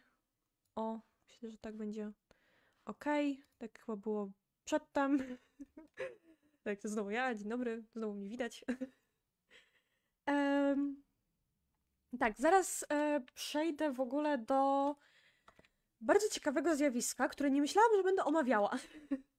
kiedy pierwszy raz zaczęłam się interesować tym tematem, jakiś niecały rok temu. Znaczy, interesuję się od, e, nim od paru lat, natomiast tak naukowo od e, powiedzmy roku nawet. Jest to kwestia języka też japońskiego. Mm, kiedy mam teraz zajęcia z antropologii, tak się pochwalę, tak, mam zajęcia z antropologii na swojej socjologii. E, bardzo ciekawy przedmiot. Mówimy właśnie o tym, że badając jakąś kulturę, nie można mieć do niej uprzedzeń i nie można um, jakby patrzeć na nią jednopoziomowo. Te wszystkie aspekty, czyli sam problem kobiet, jest właśnie wieloaspektowy. To nie jest coś płaskiego, o czym można powiedzieć nawet na takim półtora godzinnym wykładzie, czy nawet dwugodzinnym.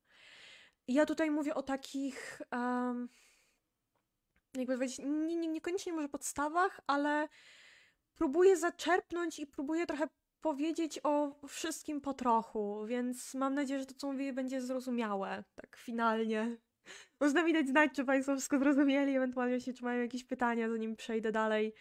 Tak sobie trochę pogadam o niczym. Państwo mogą, mają miejsce, żeby się wypowiedzieć. Mm. E, więc tak, więc no będę dalej badała ten temat. Może kiedyś pojadę do Japonii. Mam nadzieję, że wtedy będę mogła zrobić e, jeszcze, jeszcze lepszy wykład dla Państwa, ponieważ myślę, że jest to temat warty uwagi, szczególnie w, no, w tej sytuacji, którą mamy teraz. A i właśnie, bo ja się przygotowałam specjalnie dla Państwa. E, wejdę trochę w, z butami w politykę. Mam nadzieję, że mi zaraz nie zawieszą tego streama. Natomiast no, wszyscy wiedzą, co się teraz dzieje w Polsce. Myślę, że sytuacji nie muszę nikomu przedstawiać. Jest ona mniej lub bardziej znana, wszyscy wiemy, co się dzieje. E, tak tylko pokrótce powiem, że mieliśmy w Polsce e, trzy momenty, kiedy do aborcji mogło dojść. Były to e, przyczyny związane z przestępstwem, czyli kiedy kobieta została zgwałcona, mogła dokonać aborcji. E, z przyczyn zdrowotnych, kiedy no, kobiecie groziło zagrożenie życia bądź no, utrata życia i tak dalej, mogła dokonać aborcji. I trzeci przypadek, który jest teraz dyskutowany, to jest aborcja eugeniczna, czyli kiedy mm, dziecko ma się urodzić na przykład martwe bądź z bardzo mocną niepełnosprawnością. Mm. I teraz, e, specjalnie kiedy właśnie dowiedziałam się, że finalnie będę właśnie prowadziła dzisiaj ten wykład, uznałam, że się trochę doedukuję, żebym mogła powiedzieć o tym temacie. E, I tutaj e, czytałam tam wiele dat, co jak kiedy się działo. Ogólnie w Japonii to te zmiany były wprowadzane szybciej niż Państwo myślicie. To było często tak, że oni co, co parę lat zmieniali decyzję. Ojejku, dziękuję Pani Moniko, jest Pani bardzo miła. Dziękuję ślicznie. Jeszcze się zaczerwienie, ojejku. E, d- d- d- tak, miałam, o czym ja mówiłam? Em, a tak, w Japonii e, to się bardzo szybko zmieniało. Tak zadziwiająco szybko, przynajmniej dla mnie zadziwiająco szybko. E, I e, doszłam do tego, że na ten moment aborcja jako tako jest tam zakazana, natomiast jest ona dostępna w czterech przypadkach. W przypadku właśnie, kiedy kobieta zostanie zgwałcona, w przypadku, kiedy życie kobiety jest zagrożone, w przypadku, kiedy e, płód ma się, dziecko ma się urodzić martwe bądź em, właśnie bardzo, bardzo mocno niepełnosprawne. Mm, I co ciekawe, jest jeszcze czwarty powód, którego u nas w Polsce nie ma, i jest to e, powód ekonomiczny, jakoś tak to chyba było nazwane. I to jest w momencie, kiedy em, na przykład kobieta nie miałaby zupełnie pieniędzy, żeby wychować to dziecko. Czyli jej sytuacja materialna, nie wiem, na przykład byłaby bezdomna. Mm, W takiej sytuacji też można e, dokonać aborcji w Japonii.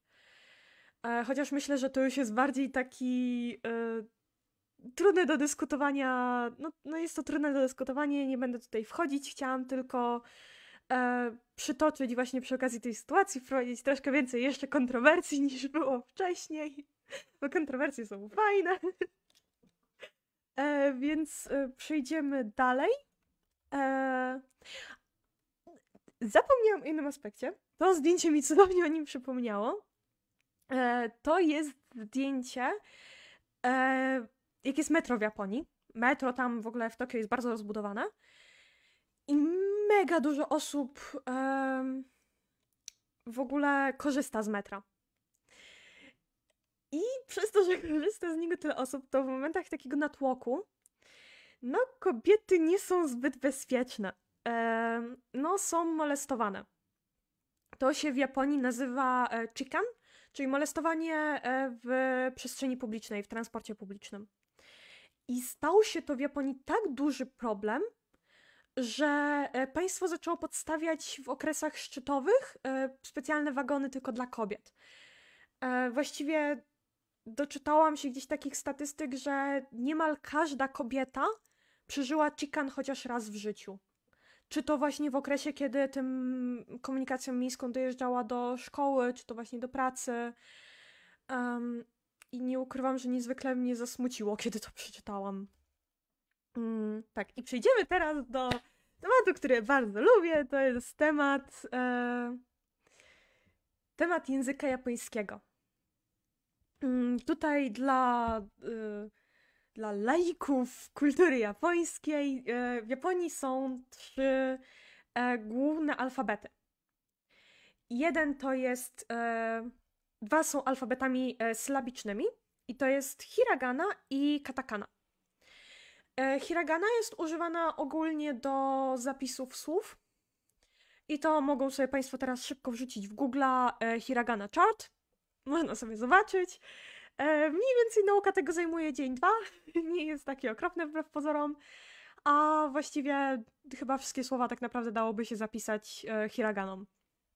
Więc jeśli ktoś by się chciał uczyć, to taki mały protip ode mnie. Ja zaczynałam od hiragany. I jak poszłam na kurs wakacyjny japońskiego, to też zaczynaliśmy od hiragany. Tak, taki protip. E, później jest katakana. E, katakana służy do. też jest sylabiczna, ma tyle samo znaków 46. E, tak samo chyba brzmiące, jeśli dobrze pamiętam. I one służą do zapisu słów obcojęzycznych. Czyli właśnie na przykład jak sobie Japonia podwali słowo z języka angielskiego, to zapiszemy je katakaną. Tak samo e, jakby chcieli Państwo, nie wiem, się o, podpisać, pojechaliby Państwo do Japonii, by się Państwo podpisywali gdzieś, to katakaną. Tak więc e, kolejny protip ode mnie, proszę się nauczyć, jak się zapisuje swoje imię i nazwisko w katakanie po japońsku. E, pamiętam właśnie, że jak się na kursie uczyłam, to, to, to bardzo miła pani, e, pani sensei nas e, uczyła, jak zapisać swoje imię i nazwisko w katakanie. Gdzieś to mam, niestety chyba nie mam jak Państwu pokazać, natomiast było to bardzo sympatyczne i bardzo fajne. I trzecim alfabetem, o którym teraz tutaj będę mówiła, to jest e, kanji. I kanji jest alfabetem nie, nie jakby pochodzącym z Japonii. I może Państwo zgadną, skąd są znaki z hiragany pierwotnie. Można napisać w komentarzu. Jest bardzo możliwe, że Państwo trafią. Skąd Japonia ściągnęła hiraganę? No, yy, przepraszam, kanji. No proszę, zgadujemy. E, kanji to jest na przykład właśnie to, o. I jedno, e, tak będę mówiła, póki Państwo zgadują. E, jedno kanji oznacza z reguły konkretne słowo, natomiast w różnym zapisie, przy różnych innych znakach wokół, może on oznaczać trochę inne zdanie, czyli może inne słowo. Czyli może występować na przykład jako czasownik, jako rzeczownik, jako przymiotnik tak dalej. E, I też e, właśnie o czym będę za sekundkę mówiła, jedno kanji może składać się z innych kanji. E, czyli jedno kanji może coś oznaczać, drugie kanji może coś oznaczać, połączone razem w jedno kanji może oznaczać jeszcze coś innego. Tak, brawo z Chin! brawo, tak. Japonia podwaliła e, hiraganę z Chin. Znaczy, to chyba dokładniej to przywędrowało z Chin, ale no, tak jest śmiesznie, jak będę tak mówiła. Więc mam nadzieję, że teraz żadni Japończycy nie obrażą, ale tak, e, przywędrowało z Chin. Mm, pierwotnie oczywiście to przez lata tam pozostawało zmienione i tak dalej, i właściwie teraz e, Japończyk z Chińczykiem się nie dogada, tak jak Polak z Niemcem trochę. Chociaż nie, bo to jest germanistyczny język, no to nie wiem, no Polak z Czechem. Niby coś tam zrozumiemy, ale tak nie do końca na dłuższą dyskusję. No to tak to mniej więcej wygląda. Niby może jakieś tam znaki się będą zgadzały, natomiast nie wszystkie.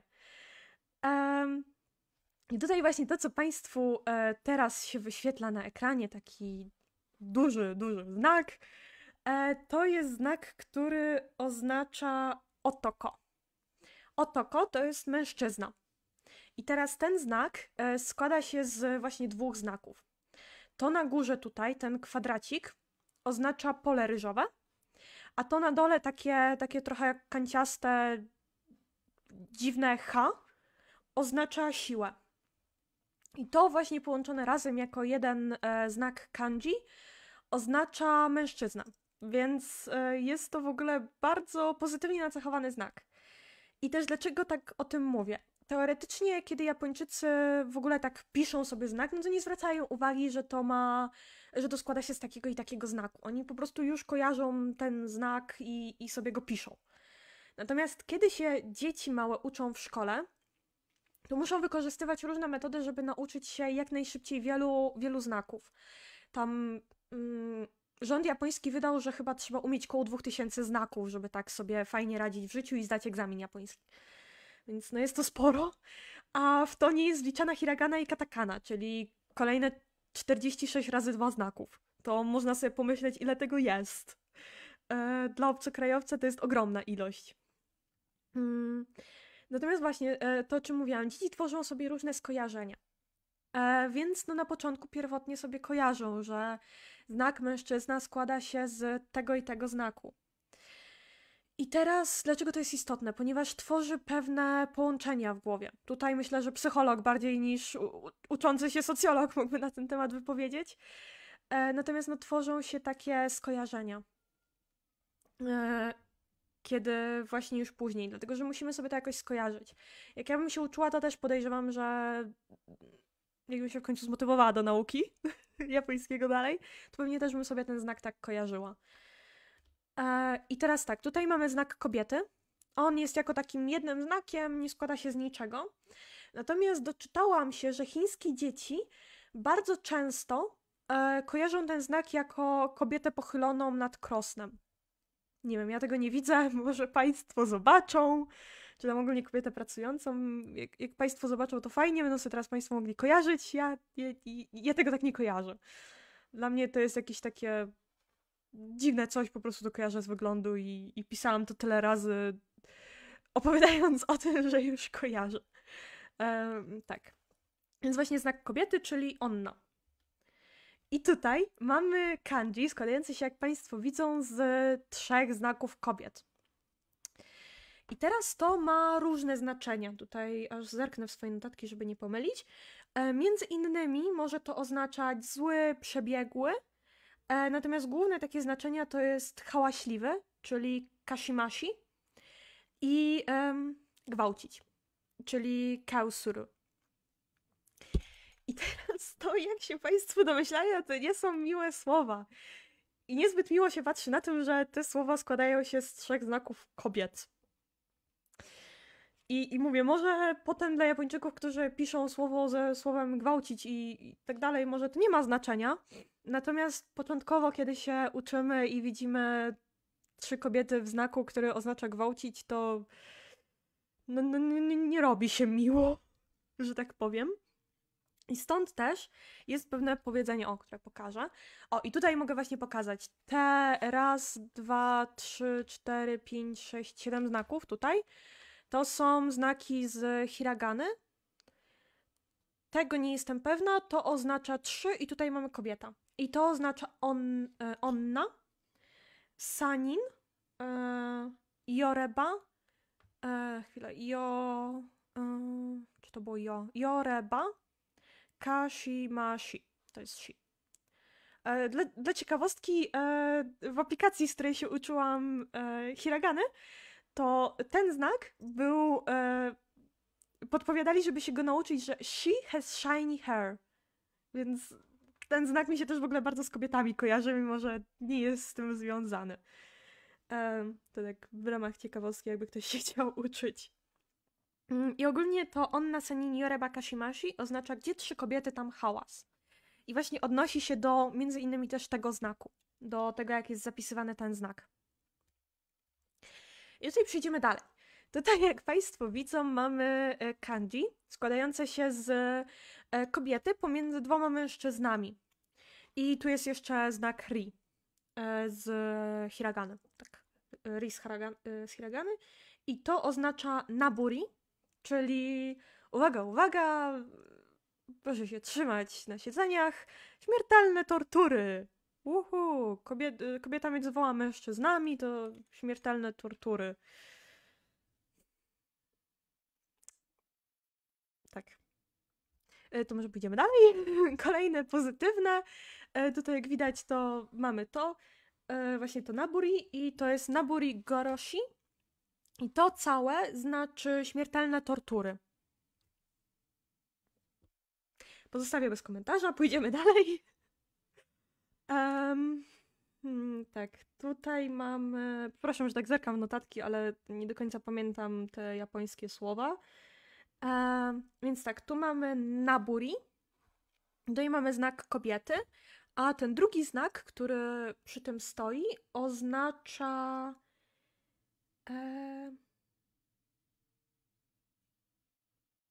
Dobra, nie zapisałam, co, co oznacza. Natomiast. E... A nie, zapisałam, co oznacza. To jest choroba, tak. I e, to całe oznacza. E, nie, przepraszam, to nie jest choroba. Okay, czyli zapomniałam napisać, co to znaczy. Natomiast to całe znaczy zabijanie. Ogólnie, tak już kończąc moje zawstydzanie się tym, że nie pamiętam. Więc pójdziemy dalej. Mm, ten znak to była zazdrość. I to jest kobieta plus choroba.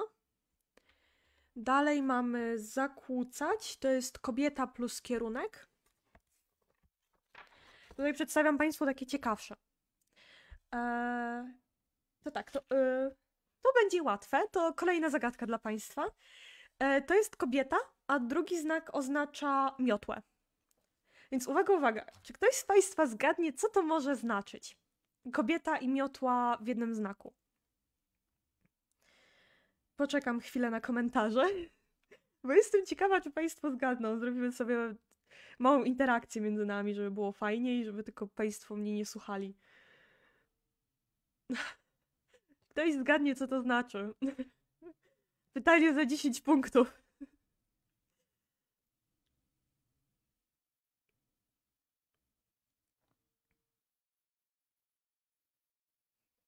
Ja się w tym czasie napiję kawy.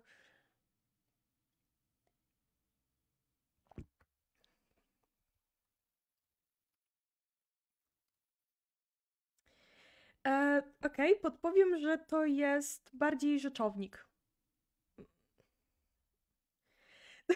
Nie czarownica. Ale to też jest dobre skojarzenie. To jest e, pani domu. Ale skojarzenie z czarownicą też mi na początku przyszło do głowy. Mm, tak, to, to, to jest pani domu. Dobra, to e, nie, chwila, to, o tak, to jest to. Um, chwila, to będzie to i nie, dobra. O, to będzie chyba. Okej. Widzę, że wszystkim się to kojarzy z czarownicą. Mi na początku też się kojarzyło, ale to jest pani domu właśnie. Dobra, to jak się tak e, dobrze bawimy, to kolejna zagadka. To jest e, kobieta, a to oznacza dobry. Uwaga, uwaga, co dobra kobieta może oznaczać? E, kobieta plus dobry, te dwa znaki.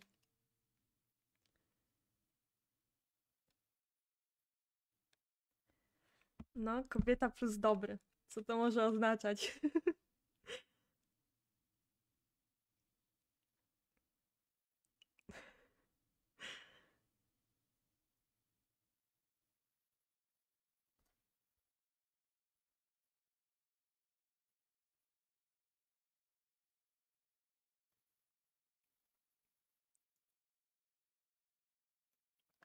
O nie, kawa mi się skończyła. Dobrze, już powoli. Niekoniecznie kobieta w ciąży, ale tak. To jest em, niekoniecznie żona, chociaż tutaj blisko. Kobieta plus dobry oznacza córkę. Pewnie lekkie zaskoczenie oznacza to córkę. E, tak, więc. E,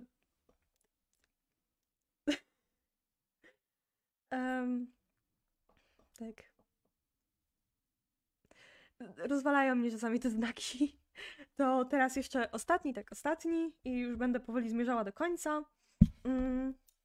Kobieta plus dom. Kobieta plus dom podpowiem, że to słowo już padło, więc mam nadzieję, że się skapnę, że te komentarze do tego. Kobieta plus dom. Można poszukać w poprzednich komentarzach, słowo padło. Kobieta plus dom. Co to może oznaczać?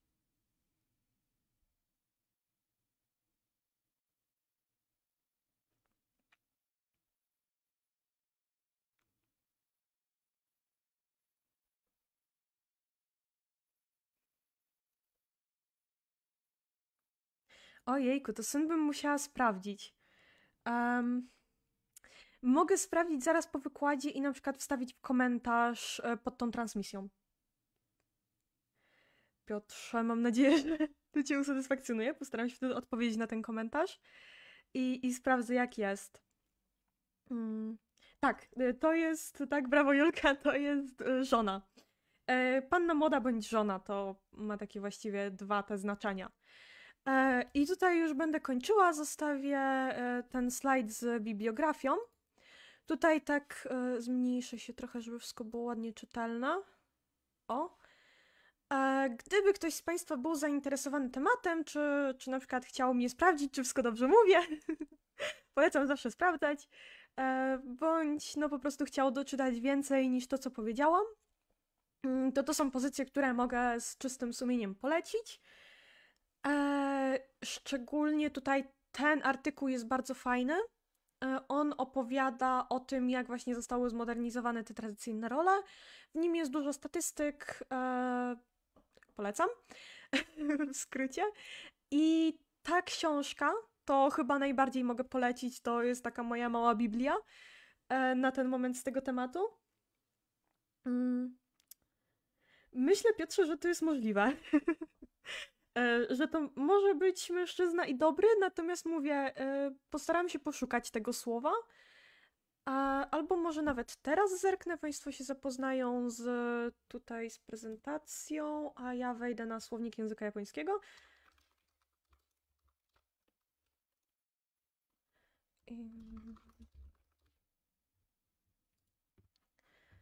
Dobra, zaraz zobaczymy jak to będzie, bo ja się sama zaciekawiłam. Sen. Syn to jest mysyką też, e, ale tutaj szukam, czy jest jakiś kanji do niego, bo widzę same zapisy w hiraganie tylko. Dobra, to może bezpośrednio syn kanji.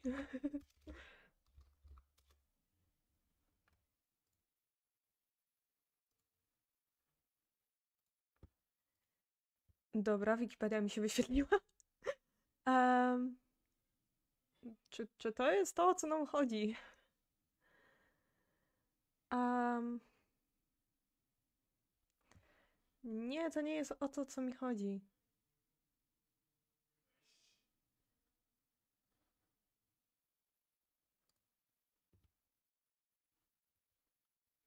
Um,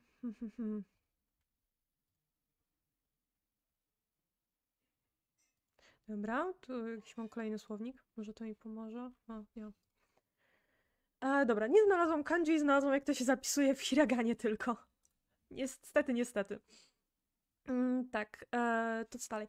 E, tak, mówiłam o tej książce. Ogólnie ją mogę polecić o tyle, gdyby ktoś właśnie był zainteresowany tematem, że to jest reportaż. To się naprawdę bardzo sprawnie, szybko czyta. E, przy okazji, jak o tym mówię, to mogą Państwo pomyśleć jeszcze nad pytaniami, to jeszcze, jeszcze mamy czas.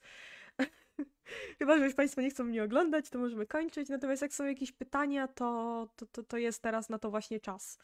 Jak coś było niejasne, czy, czy coś jeszcze Państwa interesuje, o czym nie powiedziałam na przykład, albo powiedziałam za mało,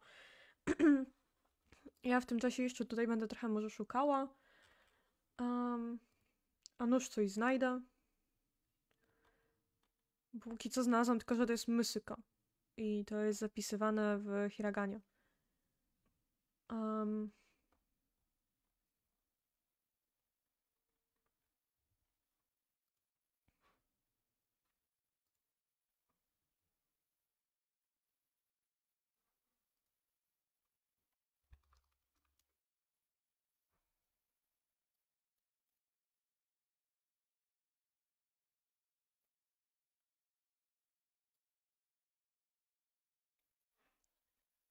Dobra, znalazłam kanji, tylko nie jestem pewna, co one oznaczają.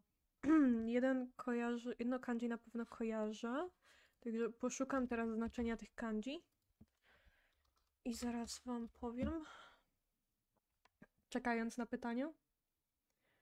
O, super, Gosia, cieszę się, że było ciekawie.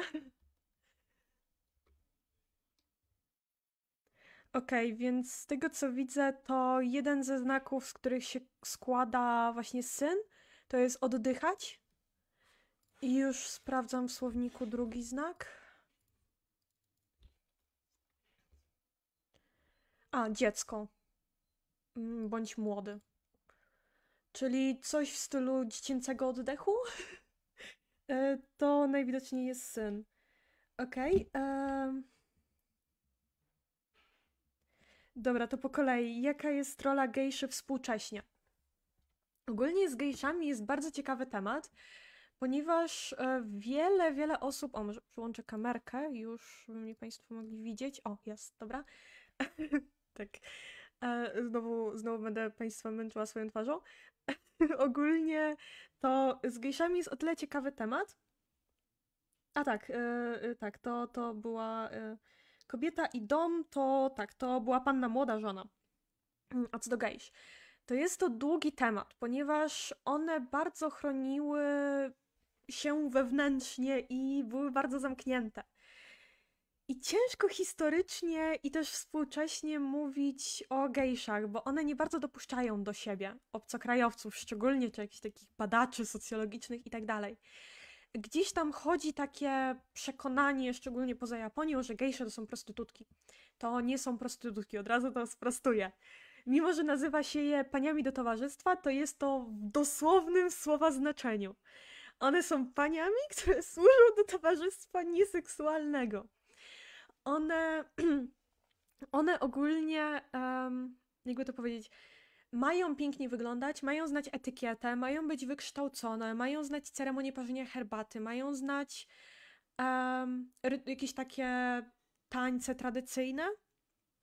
i je się zatrudnia e, na na przykład jakieś spotkania, żeby właśnie polewały herbatę w taki tradycyjny sposób, e, czy właśnie umilały czas tańcem, e, bądź były partnerkami w dyskusji. Od razu mówię, wynajęcie takiej gejszy trochę kosztuje. Z tego co kojarzę, to e, chyba Martyna Wojciechowska e, weszła trochę w ten, to społeczeństwo gejsz. I z tego co pamiętam, dosyć, e, dosyć dobrze tam o nich mówiła. Więc można sobie poszukać i, i obejrzeć po prostu, gdyby ktoś był bardziej zainteresowany tematem. Mm, bo, bo sama też się nie doczytałam wiele więcej niż właściwie to ona tam powiedziała. E, z takich jeszcze ciekawostek mogę powiedzieć, że e, one bardzo e, mają takie specyficzne fryzury. Można sobie poglądać na zdjęciach Google Grafika. Google lubi, lubi pomagać w takich rzeczach. One muszą bardzo uważać na te fryzury. One tam bodajże chyba je raz w tygodniu wykonują i potem muszą spać tak, że podtrzymują w głównej mierze szyję. Właśnie, żeby nie uszkodzić tej, tej misternie ułożonej fryzury. I to fajne, że mnie bardzo zaciekawiło. No i też sam ten makijaż dosyć długo trwa. O, i gdyby ktoś był w Japonii, to można zrobić coś takiego super, żeby się przebrać w ogóle w to kimono i tak dalej i sobie pochodzić w tych, no jak gejsza. To polecam, jakby ktoś był, może to być ciekawe doświadczenie. Mam nadzieję, że kiedyś sama spróbuję. I, i przy okazji, czy są jeszcze jakieś pytania, nieścisłości, czy, czy ktoś się nad czymś zastanawia jeszcze? Zanim, zanim się pożegnamy tutaj. Poczekam chwilę. Przy okazji mogę Państwu podziękować za wysłuchanie mnie. Może ktoś dotrwał od początku do końca, bo to prawie dwie godziny już widzę, że wybijają. Eee, mam nadzieję, że Państwa zaciekawiłam tematem. I, I może, że Państwo coś sami poczytają na ten temat, e, bo mówię, jest to temat bardzo, bardzo, bardzo złożony i sama się cały czas uczę i mam nadzieję, że nie wiem, za pół roku, rok zrobię kolejny wykład z kolejną dawką ciekawych informacji, które znajdę. Ale no, poczekam jeszcze chwilę na jakieś pytanie, ewentualnie jak nie, to się już pożegnam.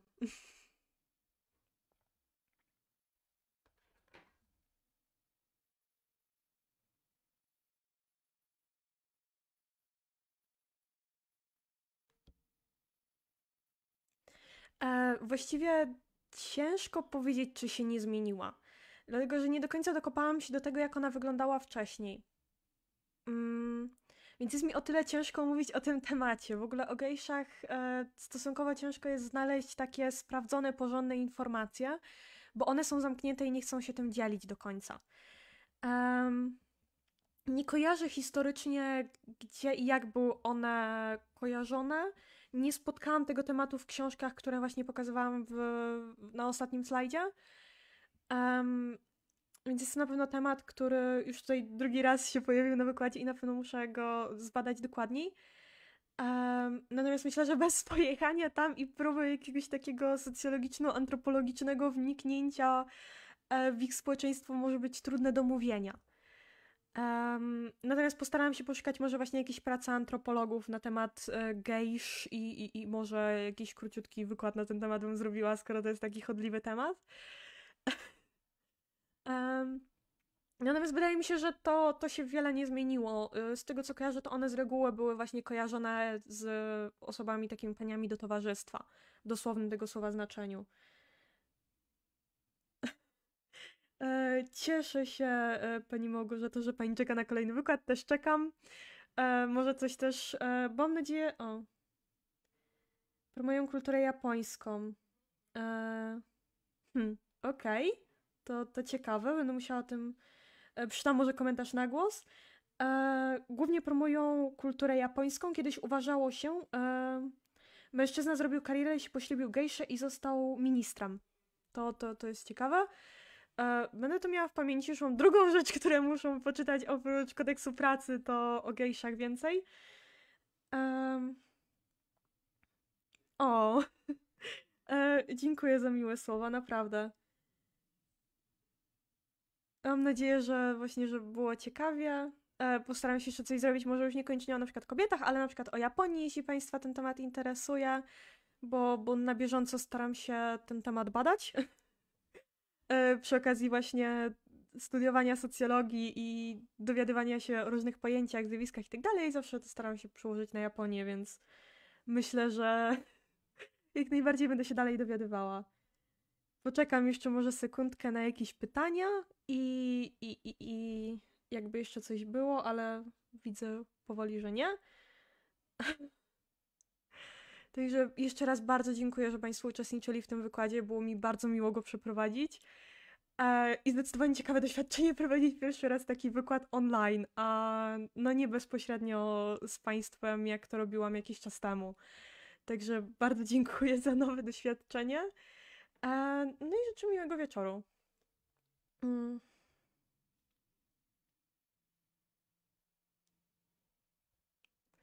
Także, także do widzenia.